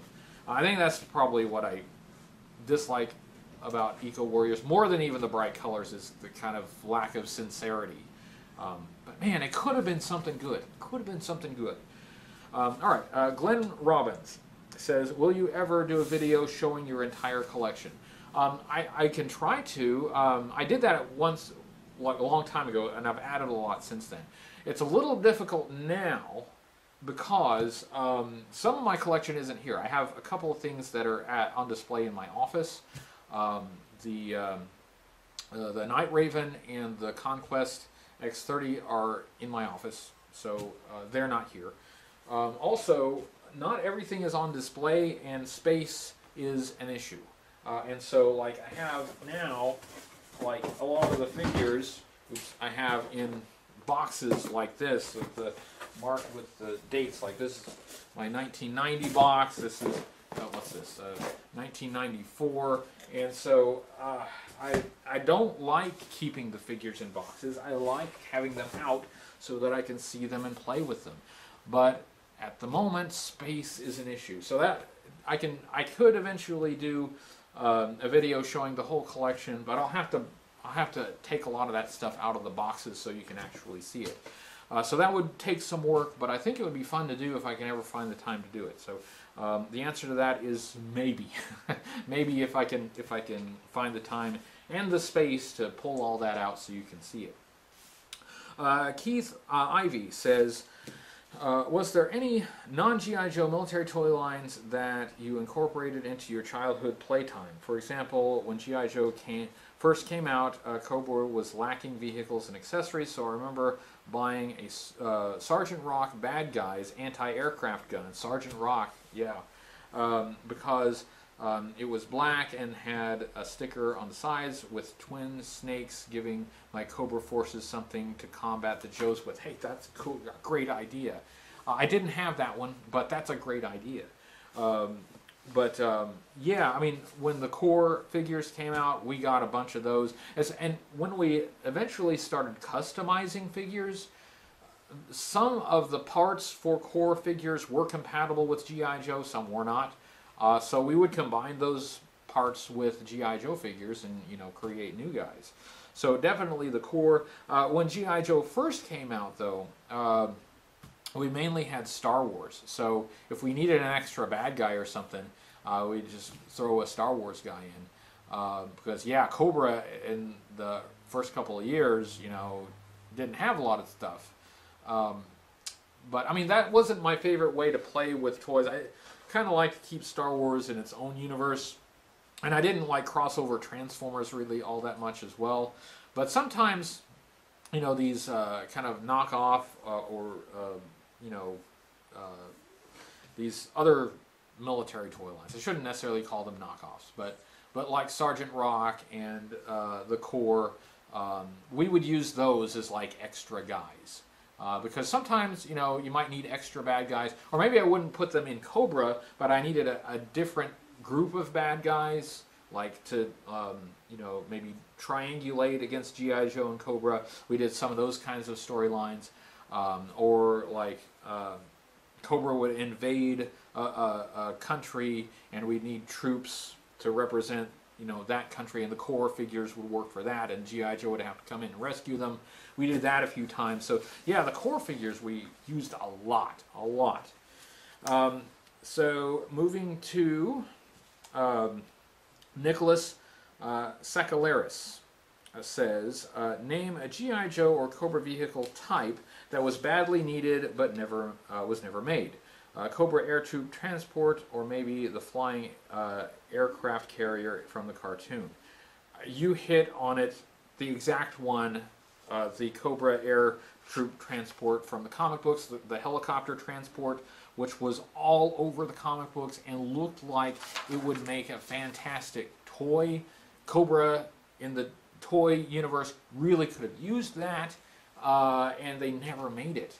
I mean, Cobra didn't have a lot of the great troop transports, um, uh, the troop carriers that G.I. Joe had. I mean, G.I. Joe, had several of them. You had several to choose from if you wanted to, uh, to transport G.I. Joe. Even like the Killer Whale had a great troop transporting compartment in it, even though it wasn't that main function for that vehicle. Cobra had fewer options. Um, and man, that would have been a great Cobra toy. That's the one they should have made. So that's my answer to that. You hit you are you hit on it. Um, John Q says favorite alcoholic beverage, and will you please review more Ninja Force? Uh, favorite? Oh, I've been more of a bourbon guy lately, uh, and I like uh, Knobs Creek uh, and Maker's Mark. You know when I can get it. I don't I don't get a lot of it, um, but you know when I can get it, that I like that. Um, and will I review more Ninja Force? Yes, definitely. I've got some Ninja Force plans for next year. I can't tell you what they are yet because I want it all to be a surprise, but definitely we'll be reviewing more Ninja Force. Uh, Jason Latrell uh, says, Will you please review uh, the Battle Gear accessory packs? This is interesting, uh, not the first person to ask. I never thought about reviewing the Battle Gear accessory packs. I guess I could, um, I need to go through and see if I have uh, have them complete. Um, I don't think about the accessory pack accessories really very much. To me, when I get an accessory pack accessory, it's just something that I'll eventually have to replace with, you know, the original accessory. Um, so they've always been more of a nuisance to me than an asset. But you know what? They were part of the G.I. Joe toy line they were unique. Uh, I mean, they are sort of their own little collectibles within themselves. Um, so that's something I think about. Um, I need to uh, think about how to review the accessory pack figures or uh, um, accessories. Um, but uh, that's something I would consider. I will give some thought to that. Um, Jaden Jarvis says, uh, "Do you collect uh, the uh, figure inserts, command rings, battle rib ribbons, etc. And will you be doing reviews on them? Well, I don't really collect them, um, and um, Form BX257 has done a little bit of the um, uh, inserts, and um, I never really thought about it. Um, when I was a kid playing with those, and when I would get those, I always kind of treated them as throwaways. I never really kept them. Uh, obviously, I should have because now people do collect those. Um, but uh, since I don't, I haven't really considered them to be um, a regular part of the toy line. So it hasn't really even been something that has crossed my mind. Like with the Battle Gear accessory packs, it's something I'd have to give some thought to. I think it would be really interesting to have them, and it could make a very interesting review. It's just not something that I've thought about before, and I would have to ponder and consider that uh, before doing it. But thank you for raising that issue. It's given me something to think about, uh, and something that I'll have to think about in the future. Uh, Ewok Hunter 03 says, Hoodie, uh, do you think G.I. Joe will succeed into the 2020s, or will it die um, around now? Uh, also, what's your favorite modern Joe? Uh, okay, good questions. Um, uh, will it die in 2020? I hope not. Um, I'm hoping that this new movie will be something that brings a new generation of fans into G.I. Joe. I'm crossing my fingers. Um, and however they need to do that is fine with me as long as it is good and as long as it works. Even if it's not something that personally pleases me, that's fine. we're thinking about the kids now. We're thinking about the next generation. So that's who they need to appeal to. Um, if it fails, though, if it doesn't work, if the 2020 movie is ju- it just doesn't land, um, then I don't think the GI Joe toy line will die forever. The reason being because Hasbro historically has made so much money on GI Joe. I mean, so much money. It has in years past has been a cash cow for them. And so even if it fails in 2020, you get further down the road, it's just inevitable that somebody over at Hasbro will look at the history and look at how much money they've made in the past and will think, wow, I can make money with this again. You know, it, and unless they get become allergic to making money, somebody's going to try to revive it at some point in the future. It's just inevitable. It's just like that's business. Um, it, it's just my hope that when they do that, it will be done by somebody who cares about it, uh, who appreciates the history, but also wants to add something new. Uh, and uh, so that's my hope.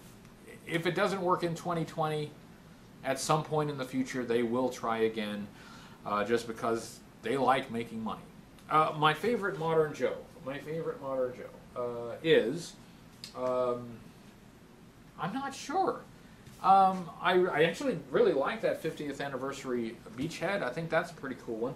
Um, I'm not. I can't answer that right now because I did get uh, just over here off camera like these like freaking boxes full of, of carded modern figures that I just dumped in the floor.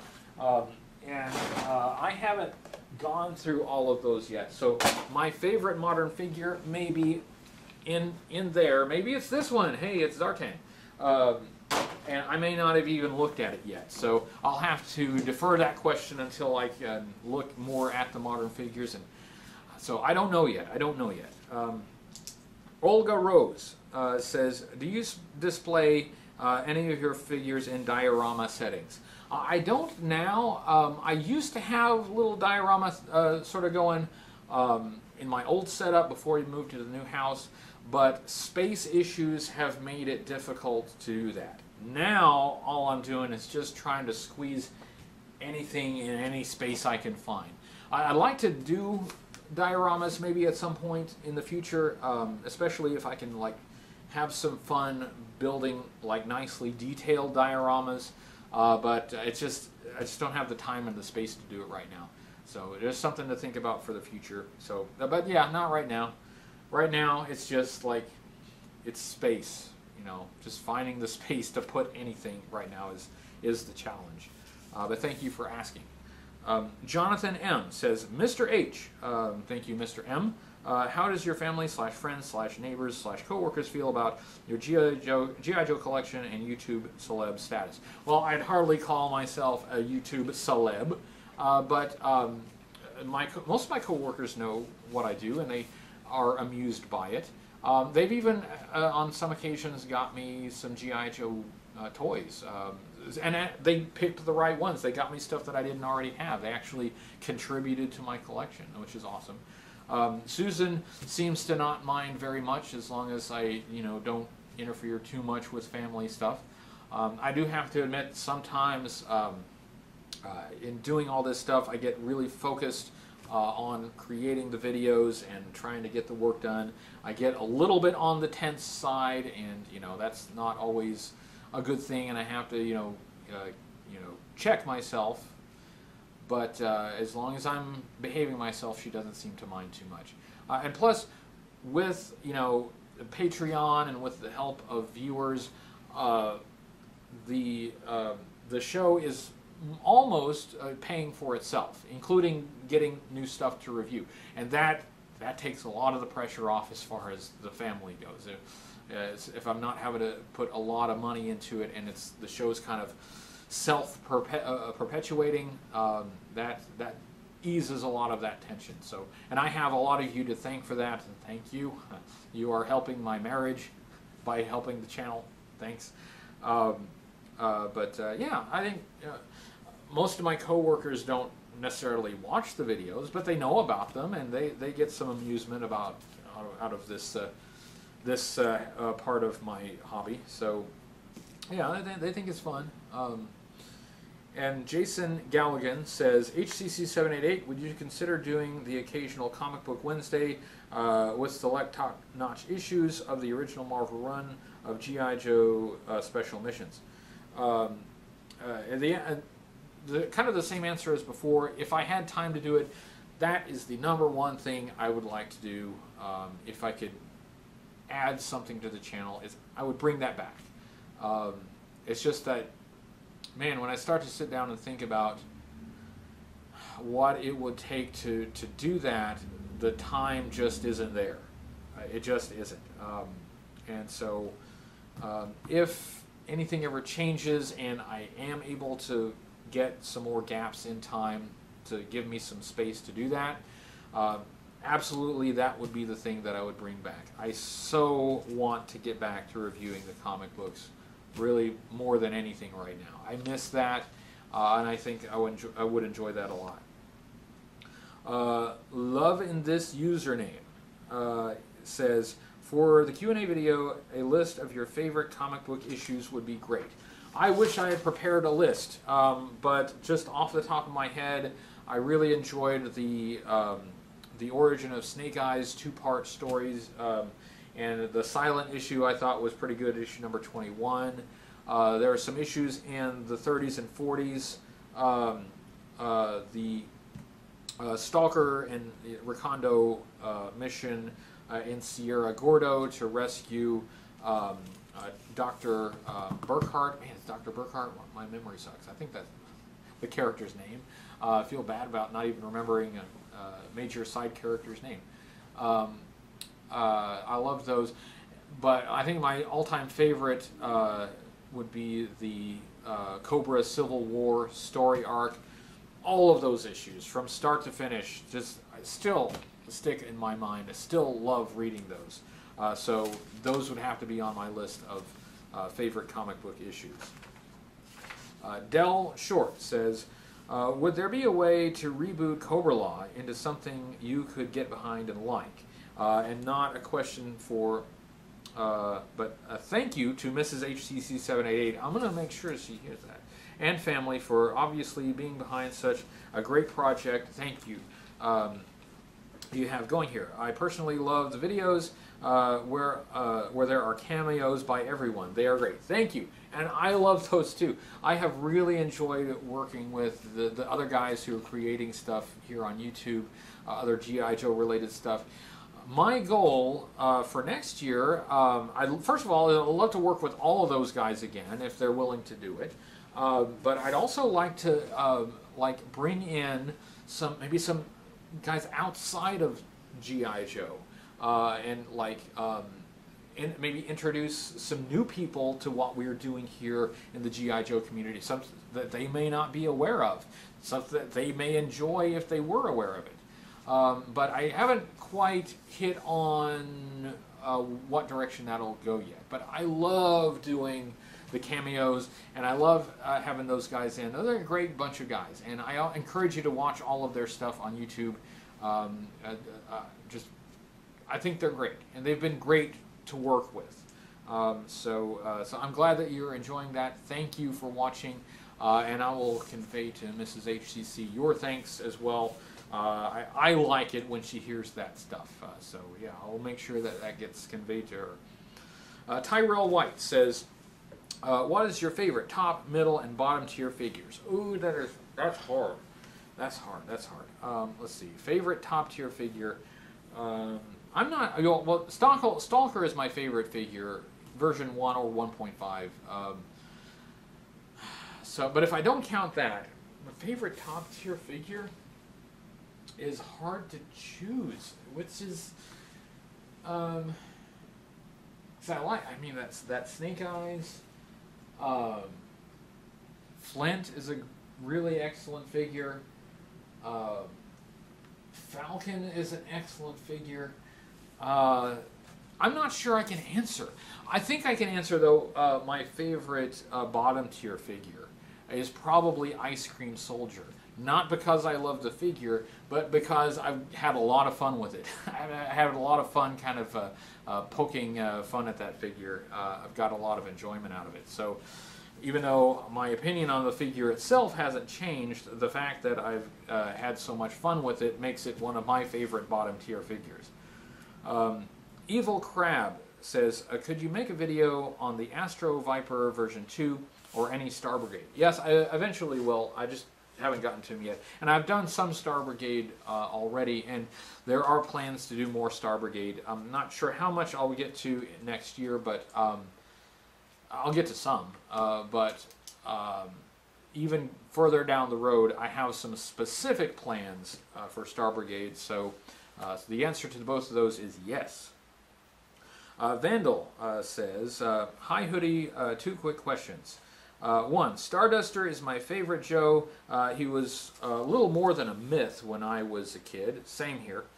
Uh, now that I have one, he's my favorite Joe figure. Uh, when are you going to review him? And two, Mrs. Hoodie, uh, Hoodette, uh, what is your favorite G.I. Joe figure? I will ask her that question. Um, and in parentheses, Cobra, Dreadnok, Joe, etc. P.S. Uh, Starduster's uh, camo makes perfect sense. He's a jetpack trooper. His uniform would help him blend into the sky, not the jungle. Love your channel. Thank you very much, Vandal. And um, Starduster is not a bad figure to have as your uh, favorite figure.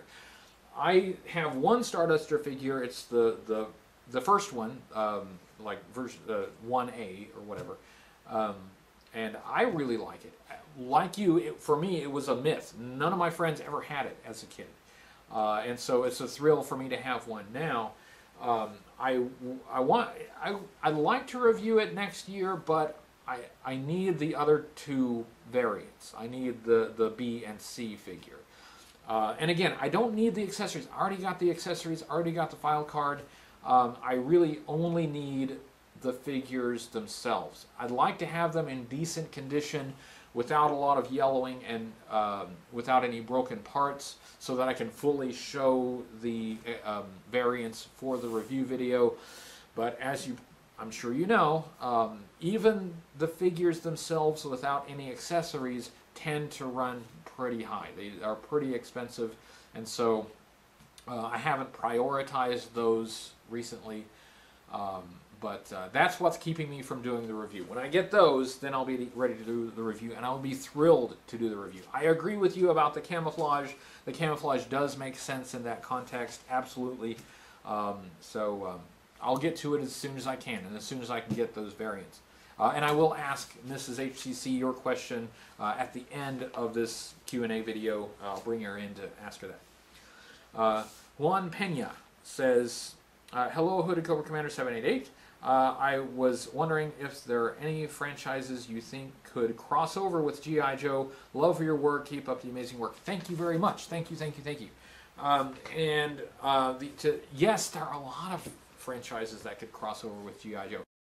I prefer G.I. Joe in its own universe. Um, and I prefer G.I. Joe to be in a universe that looks a lot like our own world with our own history and political systems and all that.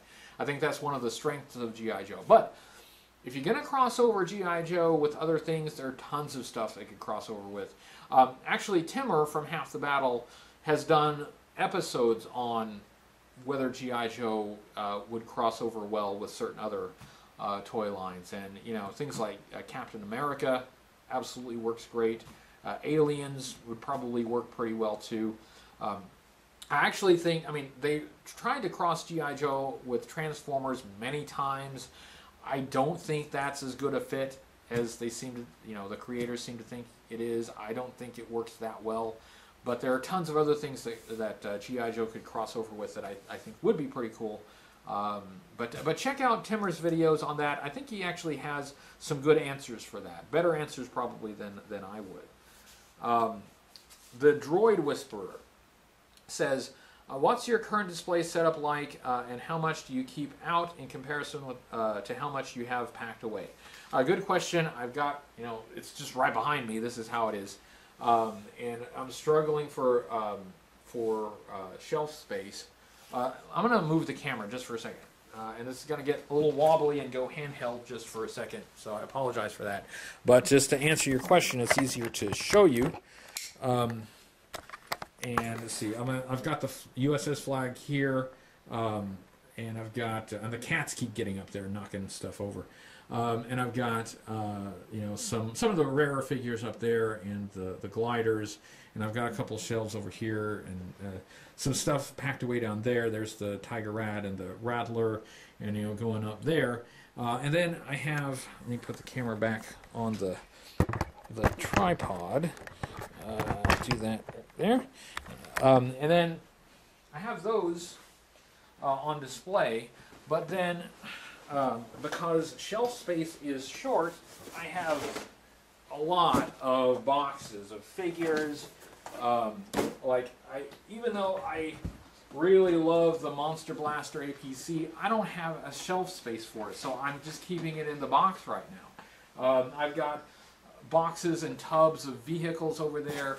Some really nice vehicles that I just don't have the space for. So as for like how, like what percentage of it um, is uh, on display versus packed away, I'd say like it's getting close to half of it is just packed away right now. Um, and that's again, that's not how I want to do it. I want to have the the toys and the vehicles and the figures out because I like to see them, and I occasionally I like to uh, play with them, and I, I want to have access to them for when I do reviews. So it's not ideal, but that's just the space situation right now. Um, Dark Phoenix asks, um, uh, says, I know you're not a big fan of uh, 1990s G.I. Joe figures, however, could you please explain the transition between uh, Targats from Iron Grenadiers line 1980s to Cobra line in 1990s. Uh, how are they uh, supposed to land without a glider? Okay, good questions. Uh, and you know, I don't know that they ever had uh, an in-universe explanation for that. Um, the, like the the the real explanation is that because they had the mold to reuse, it was cheap to produce version 2 of Targat, and they weren't really doing Iron Grenadiers anymore at that point, so they just made him Cobra because because it was easy and cheap. Um, but um, I guess if you were searching for an in, universe explanation, I mean, obviously uh, Destro had re-allied himself with Cobra by that point, so I know it could make sense that his Iron Grenadier specialized troops kind of, you know, became Cobra troops, maybe. But uh, yeah, I think the real reason is they did it just because it was cheap. Um, and how are they supposed to land without a glider? Um, again, something that I don't think was explained very well, but I personally think that the backpack probably has a parachute. I, I see them as basically paratroopers, but dropping from extremely high heights, like from orbit, dropping all the way down. Um, so I think, even though I don't think it's stated uh, explicitly, um, I think I think they're paratroopers. I think the backpack has a uh, parachute. Uh, okay, Robert Hawkins. Um, have you ever made a list of what you had as a kid? Uh, what are your favorite Christmas and birthday Joe memories? Um, um I, as a kid, I, I, I didn't make a list because I don't think I can. Because, as I said before, uh, my brother and I played with our friend Sam all the time. And we were always mixing our toys together. And to be honest, sometimes I cannot remember which toys were ours and which toys were Sam's. Because we just played with them all together. Um, I, some specifically I do remember, like uh, up there, the, uh, the sorry, right here, the Sky Striker. I didn't have the Sky Striker. Sam had it though. But because we were playing together every day, I played with the Sky Striker all the time. Um, Sam had the USS Flag. We did not have that. But again, we played with it all the time. Um, and there are some that I just don't remember. I know I we played with them. I know either we had it or Sam had it, but I just don't remember which ones actually were ours. So I'm not sure I even could make a list. Uh, I can say though that uh, between 1982 and 1986, we had almost everything. Every, uh, the things that we didn't have were like the mailaways and like the Sears exclusives. Most of those we just didn't know about them, or we just never sent away for things.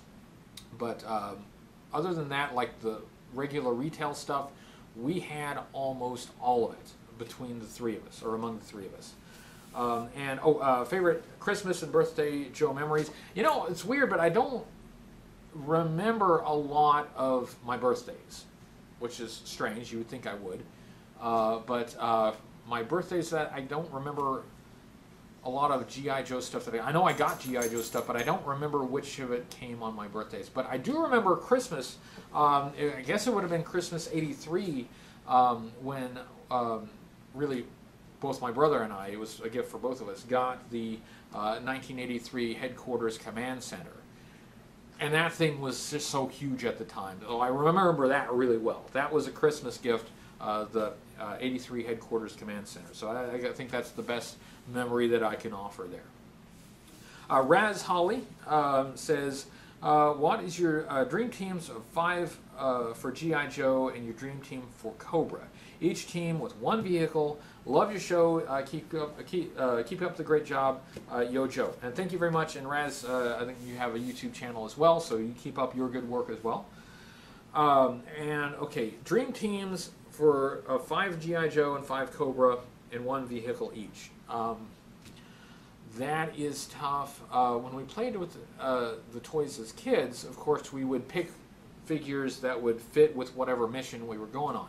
But I really liked the jungle missions. So I usually gravitated towards the figures that had camouflage.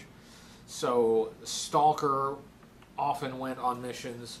Um, uh, who else? Well, Lieutenant Falcon, when we got to that point, point, 87.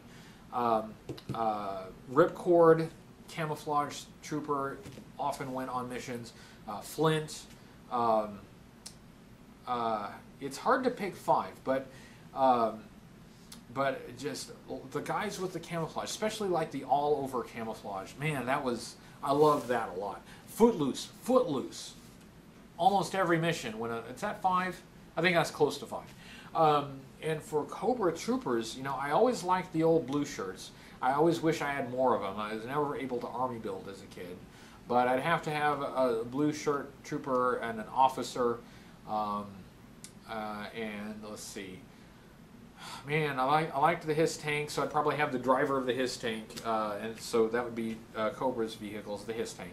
Um, as for if I could only pick one GI Joe vehicle, it's tempting to say the Mobat, but the uh, the Vamp was more versatile, so I'd probably choose the Vamp. I think that's the best I can do. Man, uh, I suck at coming up with these lists, but um, for G.I. Joe, all the guys with the camouflage and the Vamp. For Cobra, you know, blue shirts and, and officers um, and the HISS tank, and I'd probably that that'd be good. I'd just have a go. All those guys could go up against each other. Shane Everett says, "What do you think, or what did you think of the two GI Joe live action films? Um, Rise of Cobra, I did not like. Um, I thought there were some missed opportunities there, some poor choices. It." Mm, uh, it wasn't so much that it didn't stick with the GI Joe that I know. Uh, it's just it's that it it didn't tell a compelling story, didn't make us care about the characters enough.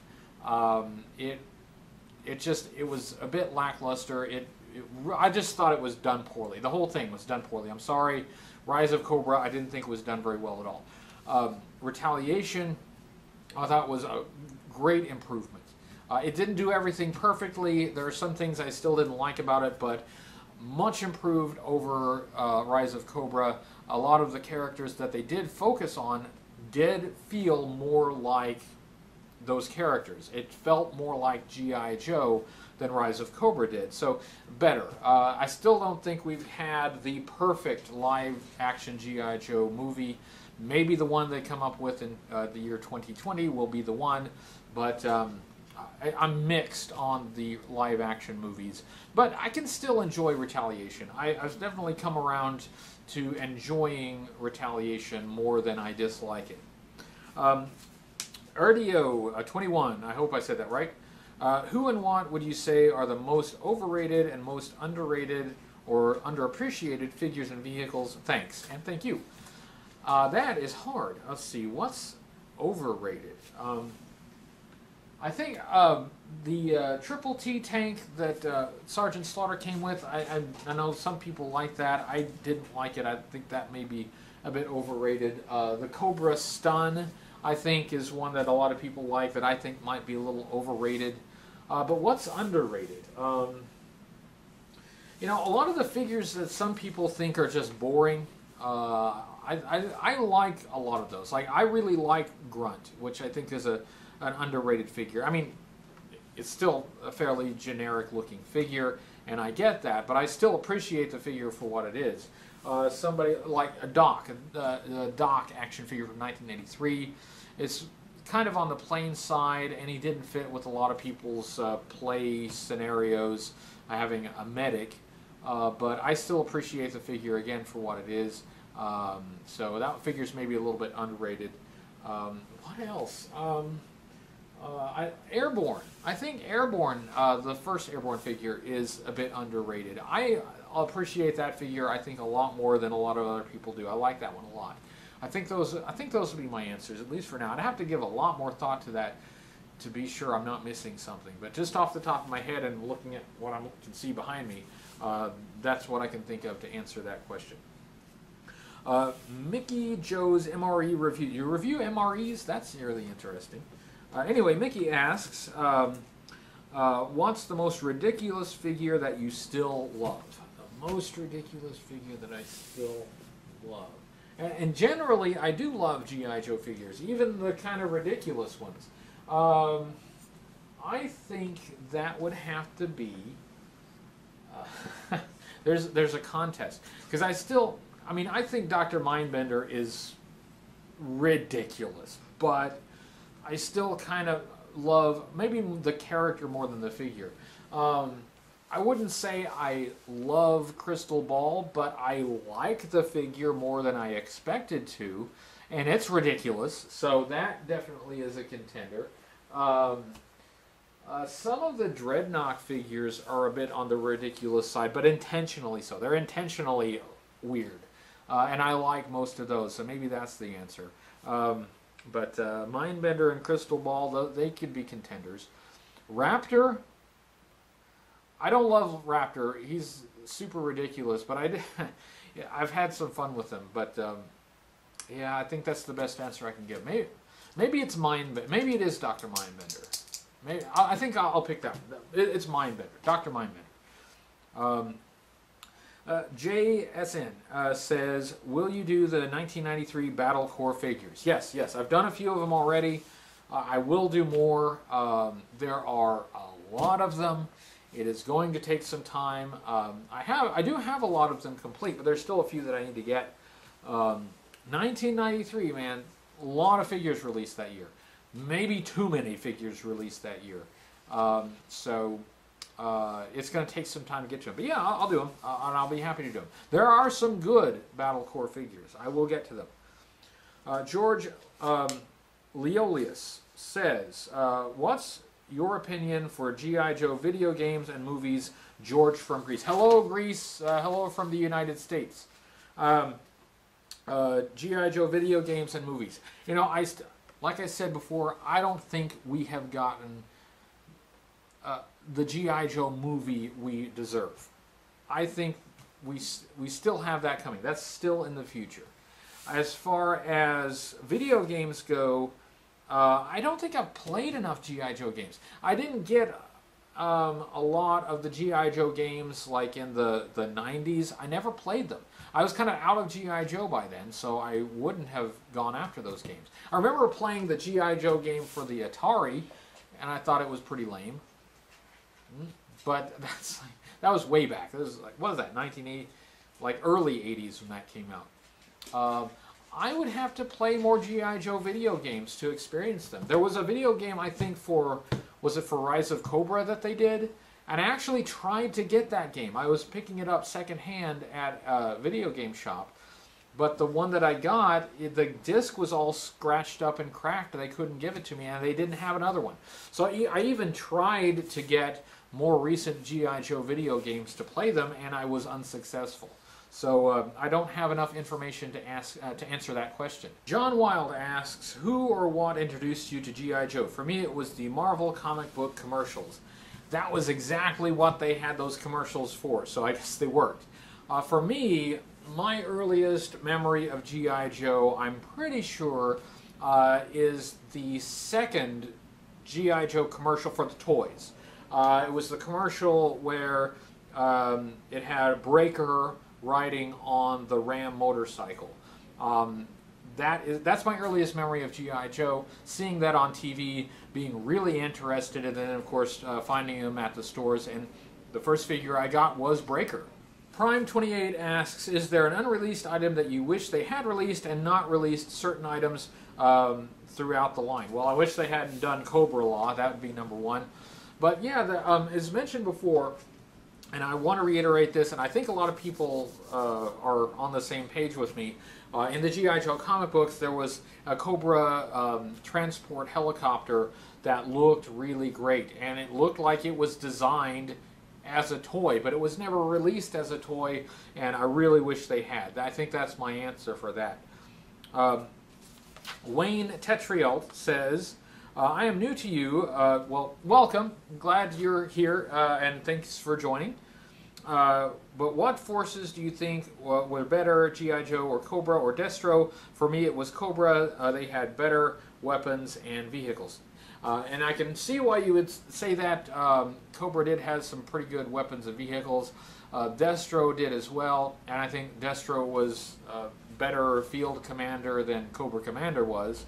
But despite the name, I'm always on the side of the Angels, so I'll have to go with G.I. Joe. Um, I just I believe more in what they were fighting for than uh, Cobra or Destro. So I'm going to stick with G.I. Joe on that. Uh, Joel Pumpy says, Do you feel that G.I. Joe, mainly the comic and the toy, got the Marine Corps right? That's a really interesting question.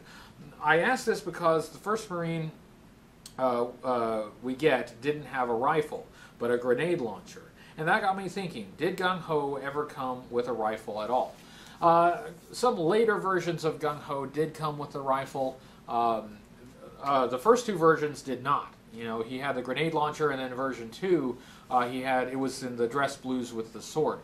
Um, so, but did they get the Marine Corps right? I even though I love Gung Ho and that like really started my um, uh, fascination with the Marine Corps, I think Leatherneck did a better job of getting the Marine Corps right and to maybe to a lesser extent Sergeant Slaughter in like the more drill instructor kind of role. But Leatherneck, man, he just feels like a Marine to me. Leatherneck, yeah. Uh, and let's see, uh, Mr. Uh, Sayavid, I hope I said that right. Uh, it says, hello from Colombia. Hello, Colombia from the United States. Uh, related to action figures, do you have any guilty pleasure? um, like a bad or ugly figure uh, anybody uh, cares, uh, but uh, still like, but that I still like. Okay. Um, thanks a lot. You're a great YouTuber. Thank you very much. Thank you very much for watching from Colombia. Um, a guilty pleasure. Oh, let me think. You know, I always thought that you know the tiger rat uh, was kind of a guilty pleasure uh, because I really liked that jet, uh, even though as a kid I really would not have liked it because of the, the weird colors, the Tiger Force colors. That might be a guilty pleasure. Um, I, I like Lifeline. Lifeline might be a guilty pleasure. That red uniform is pretty bright, but I, I mean, I understand why they went with that. It actually does kind of make sense uh, in universe, uh, in context. Um, so I'm not sure that one would count. I, am not. I don't know if I can adequately answer that. Uh, maybe I'll go with Lifeline. Uh, but I'm not sure even that should count. I mean, he, a lot of people like Lifeline. He's not underrated or anything.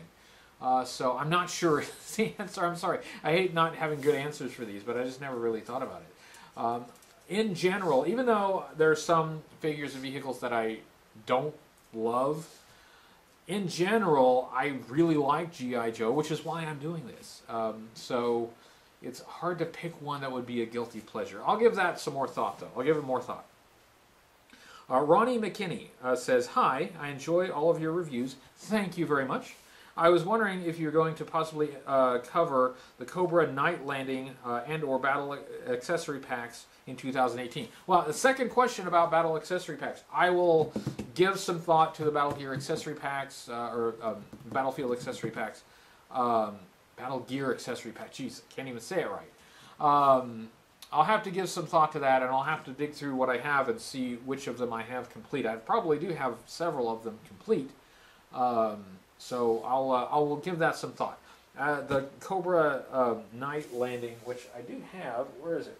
Um, oh, it's right here. I have right here. Uh, I would like to color, cover in a review. Now, I need to think about this. This is something I've been pondering. Some of these smaller vehicles are hard to fill out for full reviews, especially if, like the Night Landing, wasn't really used in media very much uh, or at all.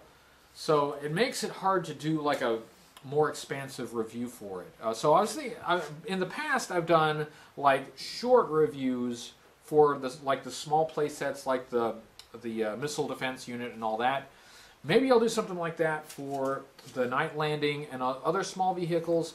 Um, they wouldn't be as long, but they would be full reviews, uh, and it might enable me to get to them sooner if I can find the time to do them. But uh, I, as for uh, if I do it this year, it's not on the schedule yet, but I haven't finished making the schedule, so the best I can say is maybe. Kevin Murphy says, as a viewer from the UK, hello UK from the United States. Uh, thank you for doing an Action Force video earlier in the year. I enjoyed doing that video with Cyber Tiger. That was a lot of fun. That was also a really hard video to make all of those images from Blood for the Baron, we had to get permission to use those. The guy that runs the site was super cool about it, uh, but that was I enjoyed doing that. It was fun. Uh, it says, I grew up with Action Man, Action Force, and then the rebranded G.I. Joe Action Force, uh, and ended with a few G.I. Joe figures.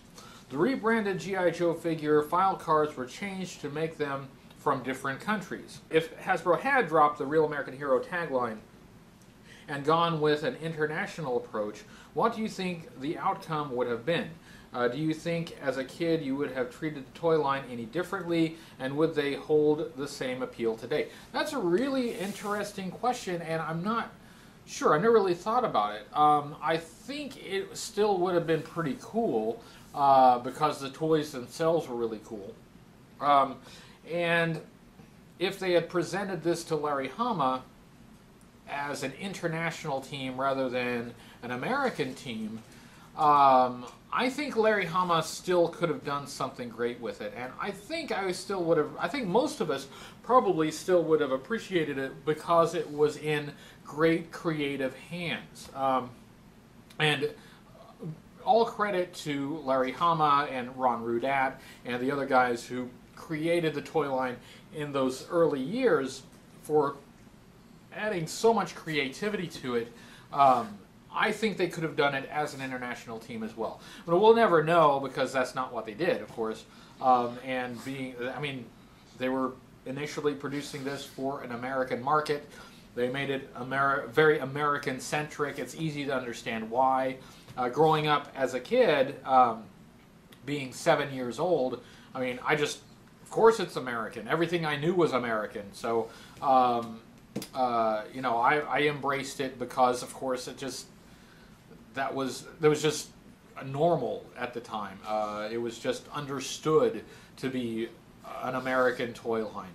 Um, but of course, as we know now, GI Joe was spread far and wide, far beyond the borders of the United States.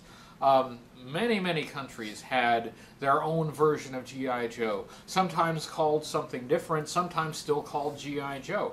Um, and so from uh, the from the very beginning, G.I. Joe expanded beyond uh, the United States, uh, going all the way back to Action Man, uh, and I think was uh, issued was released in 1965, a year after the American toy was released uh, GI Joe has been international since 1965.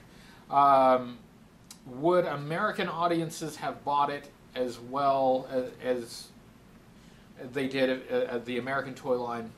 It's hard to say, but give it to Larry Hama, and I'll bet he still could have made something that American kids would have appreciated just as much. Uh, and I think that that I think reflects my respect for Larry Hama and his intelligence and his ability to write good characters and good story. I think he could have done something with it. Really good question. So not something I'd thought of before, but I appreciate you asking. Uh, Marvel NDC 379 asks, uh, or says, if there's a new G.I. Joe cartoon, would you prefer it be like the classic Real American Heroes series or something different uh, with the core concepts of the G.I. Joe? Uh, another good question. Now, I think my I think they should go in a new direction with it. I think they should, uh, yeah, go in a different direction. Give us something new, or don't give us something new. Give the next generation their own GI Joe that is focused on the things that they like and they are interested in.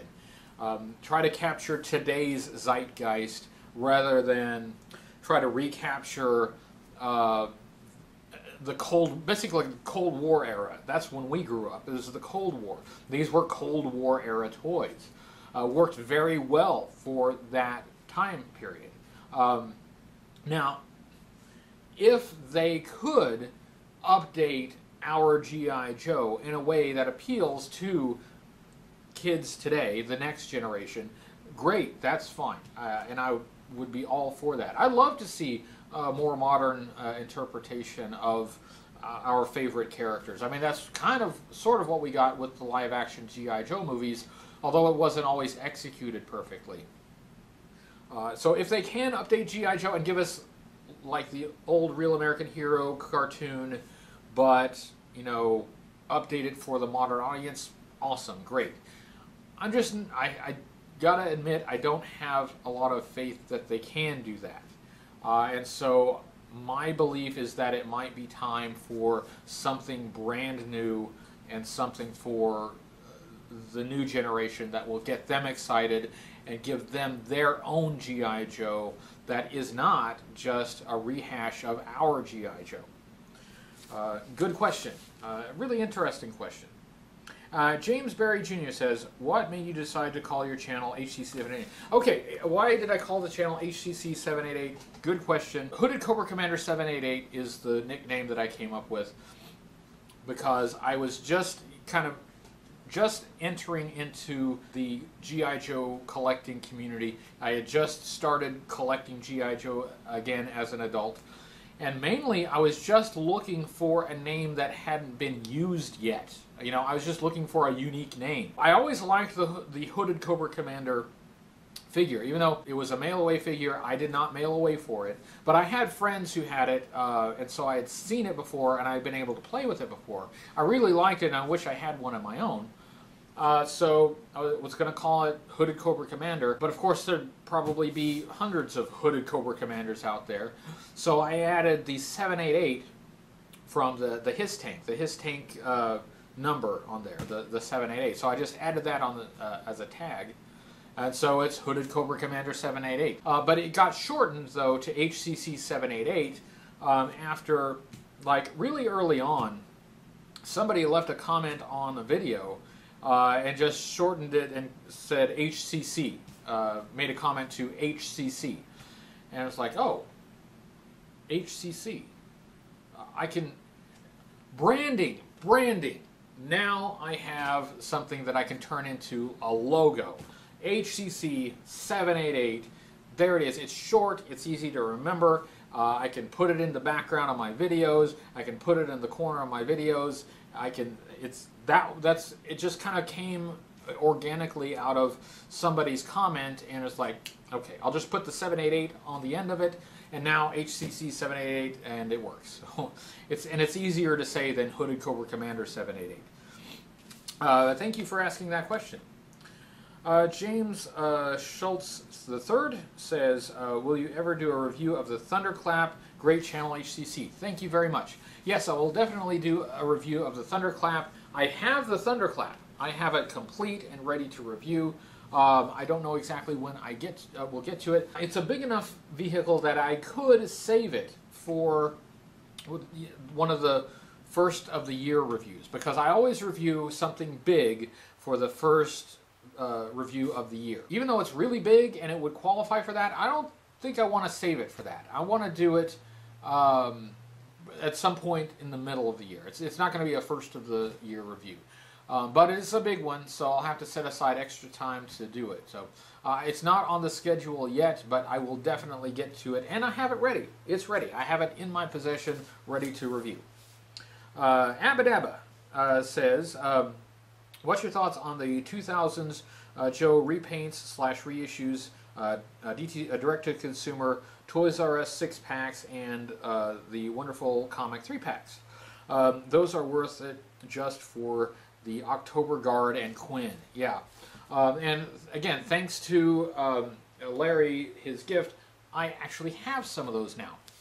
Um, so I'll have to give you uh, a better impression as I take a better look at them. I do find them very interesting, um, especially the uh, the repaints and reissues from the uh, 2000s, the O-ring style figures. Those are really interesting. Yeah, like the new sculpt era and the the comic packs, and I, I have examples of all of those now that I can actually look at. So I know it's not a great answer to your question, but I do want to take a closer look at them and get a better impression of them before I really say exactly what I think. I just I just got to take a closer look at them. But I do I um, I can say that some of them I do like very much, uh, but um, as the uh, weeks go by and we get deeper into the year, uh, hopefully we'll be taking a closer look at, at some of those. Uh, thank you for your question. Adam Verwolf. Um, Adam, I have to confess, I keep wanting to call you Adam Airwolf. Uh, Mr. Adam Airwolf says, have you ever thought of actually wearing a hood? Um, I, I, have, but I have to admit, you know, I all right, I can be vain, all right. I actually do want you to see my face and recognize my face. When I go to JoeCon, I really enjoy meeting people. I enjoy meeting viewers and talking to you and interacting with you in person. I want you to be able to recognize me. Um, so I have, I do have what is referred to in the business as a face for radio. Uh, so you know, covering my face up with a hood might actually help uh, my my views, but. Um, uh, but yeah, I, I just uh, stick with the way I'm doing it now. Besides which, um, Timmer from Half the Battle, he does the mask and, and the hat and everything, and that's a little bit close. And I, don't want to uh, I don't want to uh, rip off um, Timmer. So you know, Timmer can do his own thing, and I'll just I'll just do my thing. So I've thought about it, yes, but I, I decided not to. Uh, next question by uh, LO1BO2, um, Mr. Bo2 um, says, as your collection continue, continues to grow, have you ever thought to yourself uh, that there are too many mediocre figures and vehicles to buy, and that it might make more sense to just stick with whatever you really like uh, best?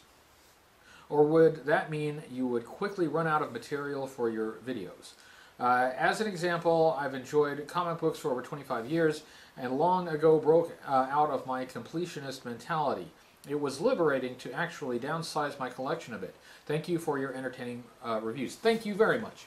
Being a completist means that I do have to get a lot of stuff that I don't really love. Uh, a lot of really mediocre stuff. Um, on the one hand, I don't know whether or not I really am going to like it until I have it in hand.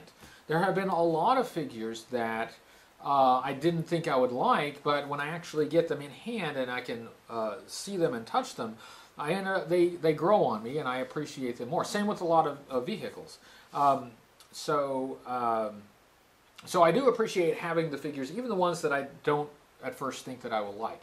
Uh, but you hit on the other thing, uh, and it's absolutely correct. If I only stuck to the stuff that I liked, then I would run out of material. And that is actually um, one of the things I, always have to think about when I'm scheduling reviews is that um, if I only review the figures and vehicles that I love, like all of the things that I think are top tier, I would they would be all done, and then I'd have nothing to review except for week after week of weak and mediocre and bottom tier figures, and that I just can't do that. Uh, that would just uh, that might kill my enthusiasm a little bit.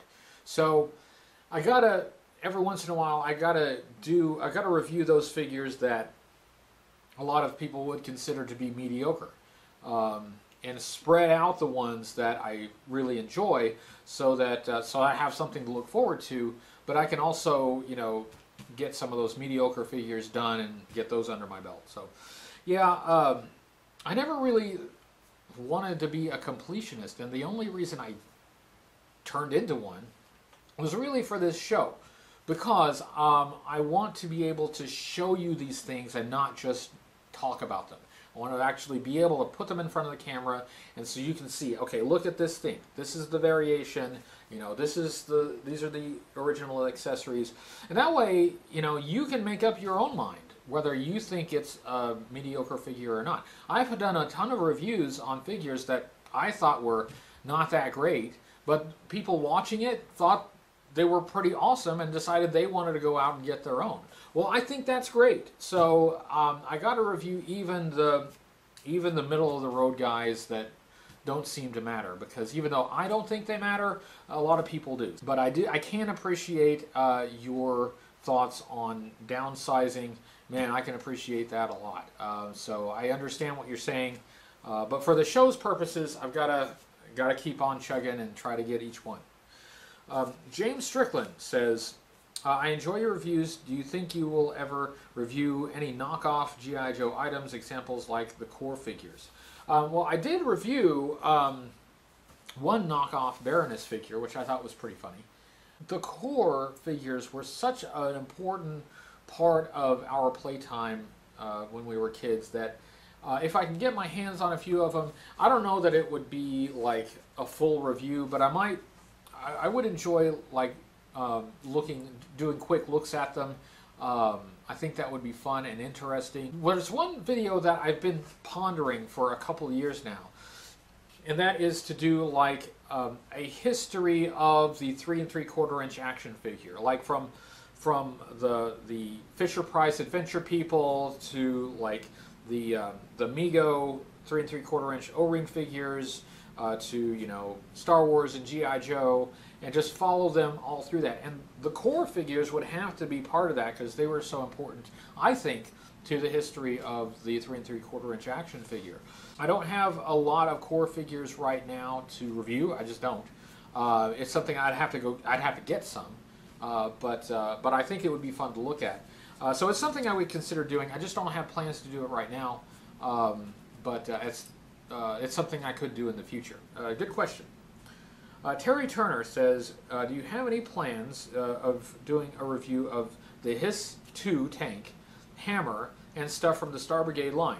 P.S. Merry Christmas and Happy New Year to you. Merry Christmas and Happy New Year to you as well. The answer is yes, I will review all of it. I don't have the Hiss 2 yet. Um, I thought about getting that at JoeCon, but I passed on it. Uh, the price wasn't quite right, uh, but I will pick one up when I can. The hammer, I do have the hammer, but it's very incomplete. It's missing several parts. The parts that are missing are the hard to find parts, like the antenna. So it's going to take a little while and some patience to complete that one. Very much looking forward to that review when I do get it complete. Uh, you will see more of Star Brigade. You should see more, more of Star Brigade this year, um, but maybe even more so the following year because, uh, again, I have some plans for a little bit farther down the road, but we will be looking at Star Brigade uh, again um, in, in, the not too distant future. Uh, thank you for asking that question. James Bond 1956 says, uh, What is your day job? Um, what do you hope to see on the G.I. Joe reboot that will be released in 2020? My day job is I'm a lawyer uh, with the Public Defender's Office and I do mental health and guardianship cases. Uh, and with the reboot in 2020, um, I don't have like specific things that I would like to see, but in general, I would like to see a movie that draws the new generation of G.I. Joe fans in and just something that the kids think is really awesome. Even if my generation does not think it's awesome, I don't care. I want the new generation to fall in love with G.I. Joe, and so that's what I'm hoping for. However, they do it, uh, that's what I hope they do. Uh, Martin uh, Kronstrom says, uh, Hasbro has named you responsible for the G.I. Joe toy department. Ooh, awesome. That's, that's good news. Um, and sent you back to 1983 in, uh, uh, with carte blanche. Um, what would you do differently to keep the Joes relevant and competitive in the 90s and 2000s? Oh, that's so hard. Um, I'm not sure they could have done much better than what they did. I understand why they went to the neon colors and the spring-loaded weapons and the I understand all that. The aliens, all of it. I understand it. I get it. Maybe they could have given us a GI Joe that was more reflective of the image of soldiers in media at the time, but I'm just not sure. There just seems to be a cycle with G.I. Joe when it doesn't fit with the general mood of the country and the world for a period, but then it comes back into vogue eventually. I've been on record saying that I don't necessarily agree with the decisions that uh, the marketers for G.I. Joe made in the 90s, but that doesn't mean I could have made better decisions. I'm not sure I could have done any better than they did. Let's see, uh, Max Blue uh, says, um, HCC, what vintage figure slash vehicle or both have you surprisingly liked long after stopping stopped playing with Joes as a kid? Uh, would a younger HCC uh, found something in the 90s as good as 80s Joes? Um, yeah. Uh, I mean, Interrogator, I mentioned the Monster Blaster, uh, although as a kid I would not have liked the colors, but I probably still would have liked the vehicle itself. And what have I surprisingly liked uh, long after I stopped playing um, the Sky Striker? I still really, I mean, that flipping that landing gear up and down is just still very satisfying. I like that that mechanism. The Tomahawk is just beautiful. Uh, the the USS Flag, which I mean, Sam, our friend Sam had the USS Flag. We didn't, but now I got my own, and it's just it's really nice. The Killer Whale. My gosh, how, how could I have not mentioned the killer whale yet in this? I, the killer whale is still one that is really cool to just play around with because it's got so much. And yeah, there are some 90s figures of vehicles.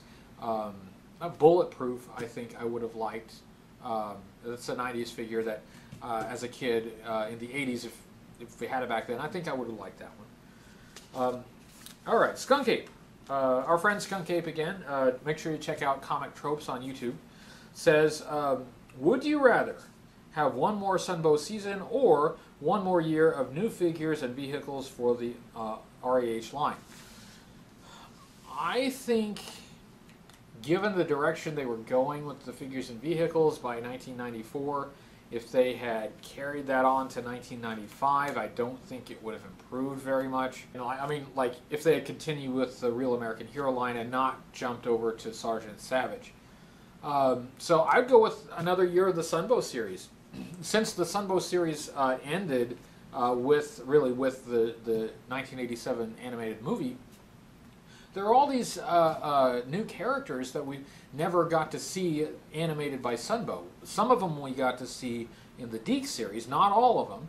Uh, but of course, the DiC series is generally thought to be of lesser quality.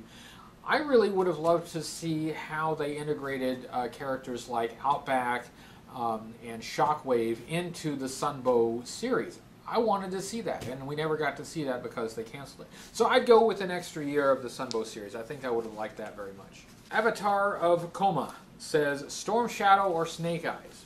That's an excellent question. Um, it's very close. I'm going to say Snake Eyes by a thin margin. Snake Eyes is both mysterious, but there's a, vulnerability about him. He's a, he's a tragic figure. Um, and to me, that's compelling. Mike J. Murdoch says, HCC, what is your personal opinion of Cobra later on using robots like the Battle Android Troopers and how uh, uh, how you incorporate them into your in your GI Joe playtime? Uh, I think um, for the cartoon series, it was convenient to have robots uh, fighting for Cobra because it gave G.I. Joe targets they could actually hit. Uh, so all the lasers didn't always miss. Um, and I think that helped a little bit. But even though I'm a little bit uneasy with having robots in G.I. Joe, the way they did the Battle Android Troopers, I think, is the best way they could have done. I mean, they look cool. Uh, they were invented by Dr. Mindbender, so we have a connection to another um, another uh, character in the story, and they weren't like super robots. Uh, they were. It would be about what you would expect robots to be on a battlefield.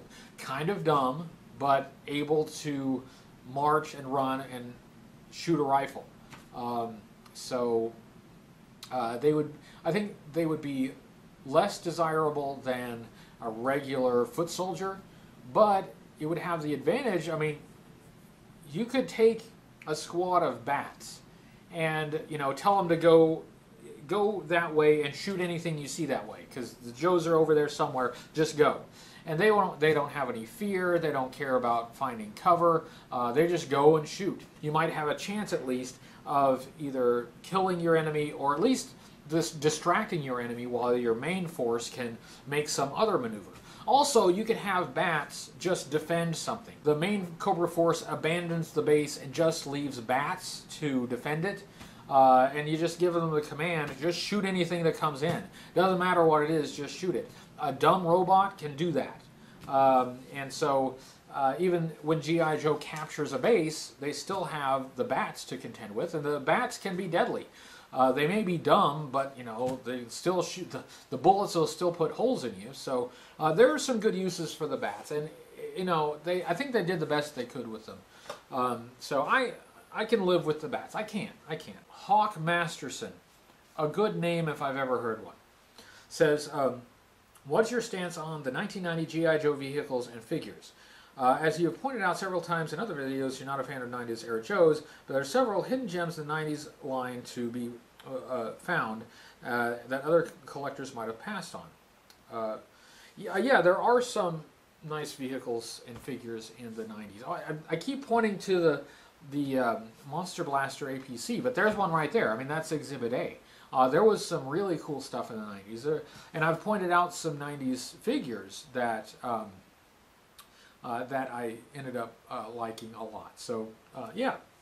Now, my uh, dislike for the 90s is kind of, there are some specific things that I truly dislike, but there's a general dislike for the direction that they went. Uh, but even given that, there are some individual toys that I think are great from the 90s. I mean, all the way through the 90s. Even like toward the, the end of the line, there were still some great ones um, in there in the toy line. So yeah, I, I have to give uh, props to the 90s. It was not all bad, and I try to point out the good stuff when I can find it. Uh, Joseph uh, Kristovich says, why do you think Clutch um, is a jerk in the comics, and what do you think about uh, Agent Helix. Well, I don't know a whole lot about Agent Helix, so I'll have to pass on that one. But uh, Clutch, uh, yeah, I think, I mean, those those early G.I. Joe characters, they had to have something to distinguish one character from another. Uh, because, frankly, a lot of them looked a lot alike. Um, so they had to have fairly sharply contrasting character traits and Clutch just happened to be the one uh, who got to be kind of the uh, kind of a jerk. Now they tried to, or Larry tried to write him kind of as more of a lovable jerk. Um, he's not like necessarily mean spirited. He's just kind of a kind of a jackass. Nerdshit says, "What are some GI Joe figures or vehicles you don't have but would like to review?"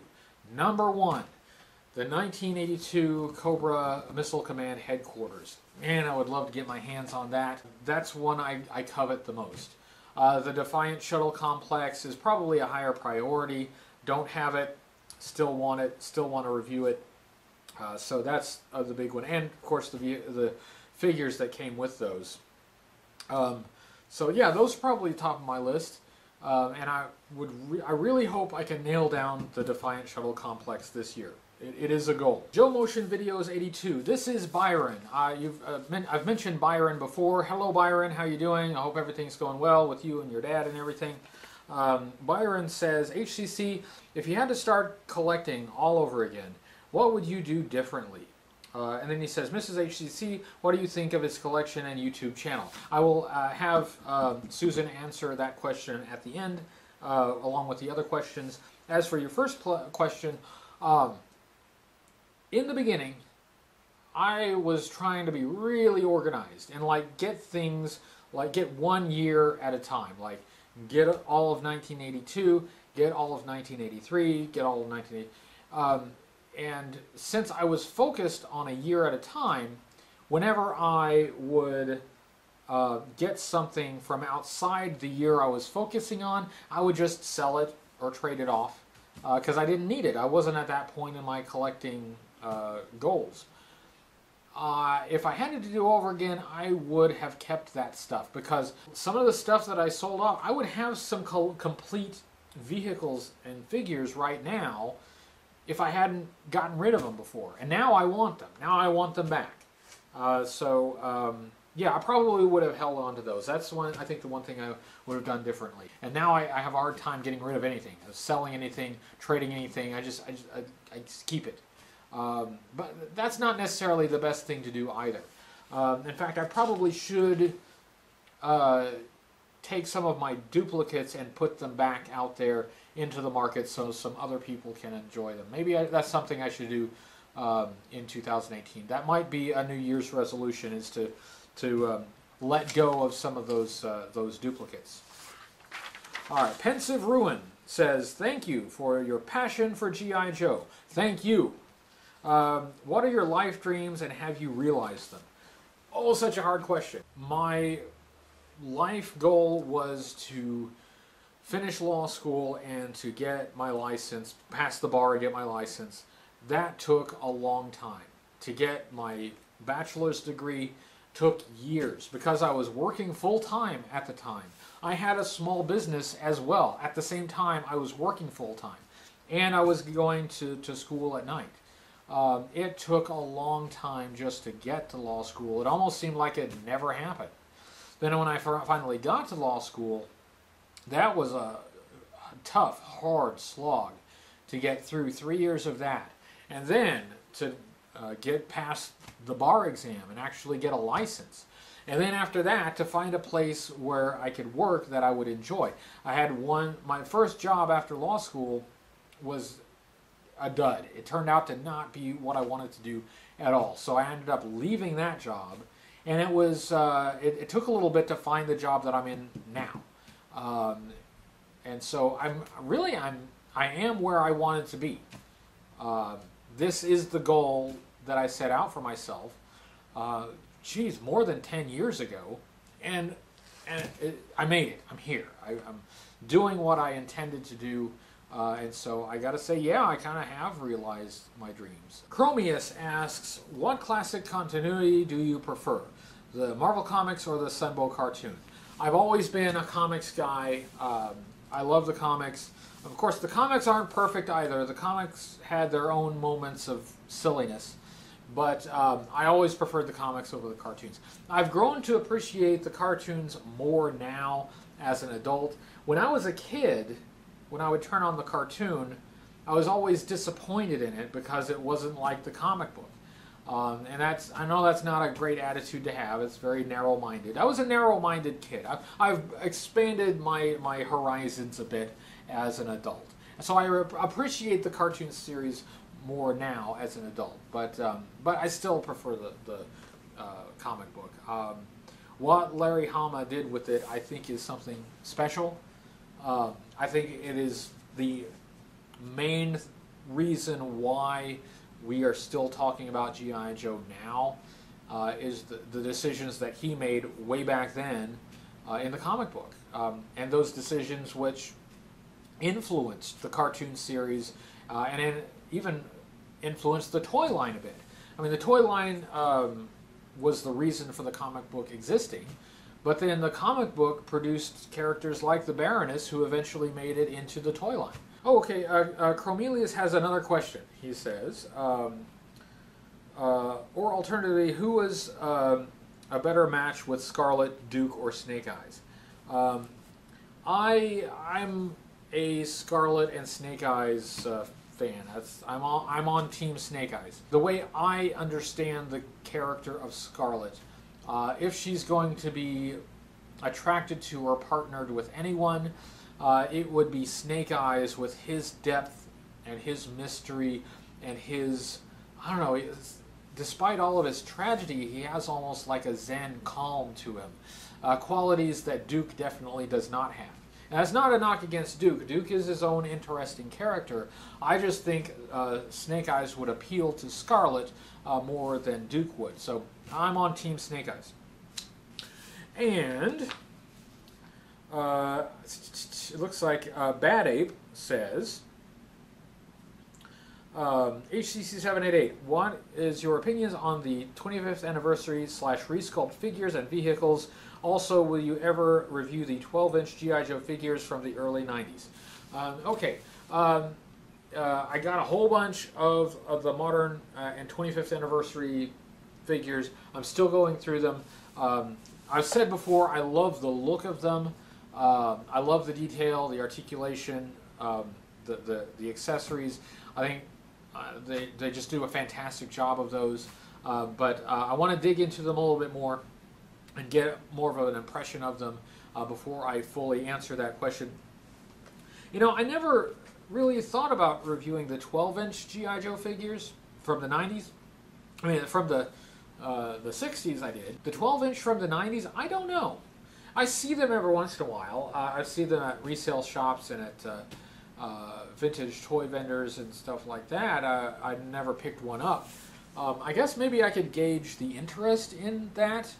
Um, I never got them as a, a, a kid, so I, know, I don't have any experience with them. So I'd really have to uh, kind of really look at them to see if that's something that I would be interested in doing. And good question. Uh, it's not something I'd thought of before. And Comic Book Guy says, uh, Do you think that G.I. Joe will be continued by the next generation since kids today don't play with toys as much? Um, that's a fair question, and I think that's actually our last question before uh, we call in uh, uh, Mrs. Hooded Cobra Commander to answer her questions. Um, the answer is um, I think the next generation of G.I. Joe, I think there'll always be toys for it, but I think the main focus will probably be media of some kind before plastic. Uh, you are absolutely correct uh, that kids nowadays uh, don't play with toys as much. Now, I have two kids. Uh, they did play with toys. Uh, they still do to some extent, but not like we did as kids. Uh, the focus is more on video games and movies and other types of media. So uh, that that focus shift is true. That is uh, a thing that happens. But I think the next generation of GI Joe will be more focused on media. It it, it might be a video game first, uh, and they might have toys that support that. Uh, but um, you know, I think that's okay. Because if you think about, I mean, obviously the toys were great, uh, and it's great to have like a physical representation of the thing that you love that you can hold in your hand and touch. Um, but a lot of what made G.I. Joe great in the 80s and 90s uh, was the media. I mean, I, reading the stories in the comic book, I still enjoy doing that. Uh, the cartoon series, we still have that, and we can still watch those episodes. We can still enjoy those episodes. It, it's the media that kind of gave life to the plastic. Um, and so I think that's okay. Um, the focus may not be on the toys, although I think there will be toys. Um, I think it will. I think it will begin with media of some kind, and maybe maybe the movie, maybe the movie that they do in 2020, maybe that will be uh, the focus, and maybe that will be what brings the next generation in. Okay, I'm back. I have Mrs. HCC here, and I'm going to go back through the questions that were asked of her. So let's ask Mrs. HCC first the question from Kurt Roadtrip. Uh, this is the peanut butter question. Uh, creamy or chunky style peanut butter, no substitution of Nutella. I don't like Nutella anyway. I, I said the same thing. Uh, I don't. I don't buy it. I don't like it. Crunchy or creamy? That's right.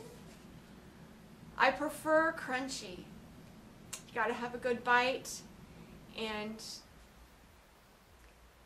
sometimes I'll do creamy, but I prefer crunchy. Okay, that answer is wrong. Next question. Mike Horsley uh, says uh, for Mrs. HCC, uh, how does being the wife of a collector feel when the, the space starts to run out? LOL.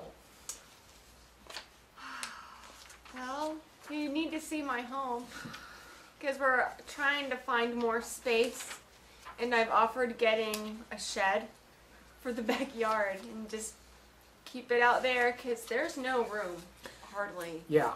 But we've got some ideas to make it more roomier Yeah. for it to grow. I wouldn't mind having some things hung instead of just on shelves because that'll free up some shelf space. Yeah. There's enough stuff to hang, but Yeah, that is. I mean, we we are already having a, a space problem, and uh, so yeah. I mean, it's it's an issue. It is, um, and we we're working on ideas of how we can yeah, well, make it more efficient. all the stuff underneath ta- tables you don't Yeah. really. There's no room. Yeah, I mean, I, I mean, I it's can't. doable to get. I don't know some kind of storage boxes or drawers or something. Yeah, um, I just I, I can't display anymore. Uh, anything else I get, I either have to take something off of display to display it, or just stick it in a box. And I don't like sticking things in a box, but yeah. No, I like them out. Space is an issue. All right, Dell Short uh, says, uh, and not a question, uh, but a thank you to Mrs. HCC788 and family for obviously being behind such a great project you have going here. Well, thank you. Thank, and thank you. Uh, and then this question by Vandal. Uh, he says, uh, Mrs. Hoodie or Hoodette, uh, what's your favorite GI Joe figure? Cobra, Dreadnok, Joe, etc. Sorry, we have dogs barking. I'll cut that part out. It's like gonna eat her face. Um, I grew up with G.I. Joe mainly because my brother, but I don't remember all that he had. I remember the cartoon very well. And uh, I don't really have a favorite, but if I had to choose, it would be the Baroness because she was just badass. Good choice, good choice. But it's one of the main ones that I really remember. Good choice, good choice. Next question is from Joe Motion Videos 82. This is Byron. Byron, who has sent uh, Oh. some things. Yeah. Okay, hello. Um, and he says, Mrs. HCC, uh, what do you think of his collection and YouTube channel? I'm actually amazed that G.I. Joe made this much stuff. I wouldn't think that it's a ton of stuff. And I don't have any- any room. they, they didn't make this much stuff for, for girls by far at all. I mean, so I mean it's it's fine. I like that that he's got an outlet and a positive ho- hobby and I mean, it's growing. I really like seeing. Sorry. I, I really enjoy seeing, like, the fan base and the positive growth and how it makes everyone feel. Because I've not heard a single negative story. I, I, I like seeing what Brian brings to everyone. Well, thank you. Uh, and we had some positive interactions uh, at JoeCon. Mhm. So uh, Yeah. uh, uh, you were able to meet some folks there. I don't, I don't know which fan it was, but he had a really heartfelt story about his wife, who was so sweet, and I wish I could have got her Facebook page or whatever. Yeah, yeah, but uh, we it, it's have that info. we do get a lot of, of those kinds of stories, just really positive stories and some great connections uh, with people who are watching. So uh, that's one of the reasons I enjoy it. Yeah. Well, uh, that's all the questions I have. Well, Uh, thanks, guys. I like the questions. All right. Uh, well, thanks, and uh, we'll uh, I'll I'll just wrap it up here. That's it. That's the end of the 2017 question and answer video. I, I really think I got all the questions. I really hope I didn't miss any. If if I did miss a question, I'm very sorry. I did my best uh, to try to make sure I got to all of them. And uh, I know some uh, of the comments were replies to other people's questions. I tried not to count those. So I would hope I focus on only answering the actual questions that were asked, uh, and I hope I didn't miss any. If, I did, again, I'm sorry, sorry, sorry. But thank you to everyone who participated. Thank you for making 2017 such a, great year for this channel. Um, we got, we've got some really fun stuff planned for 2018, uh, and I can't wait to see how that year unfolds. Thank you for everybody who's new. Uh, thank you for being here, everybody who has been here for years. Thank you for watching. Um, and um, that's it. 2017 in the books. We'll see you in 2018.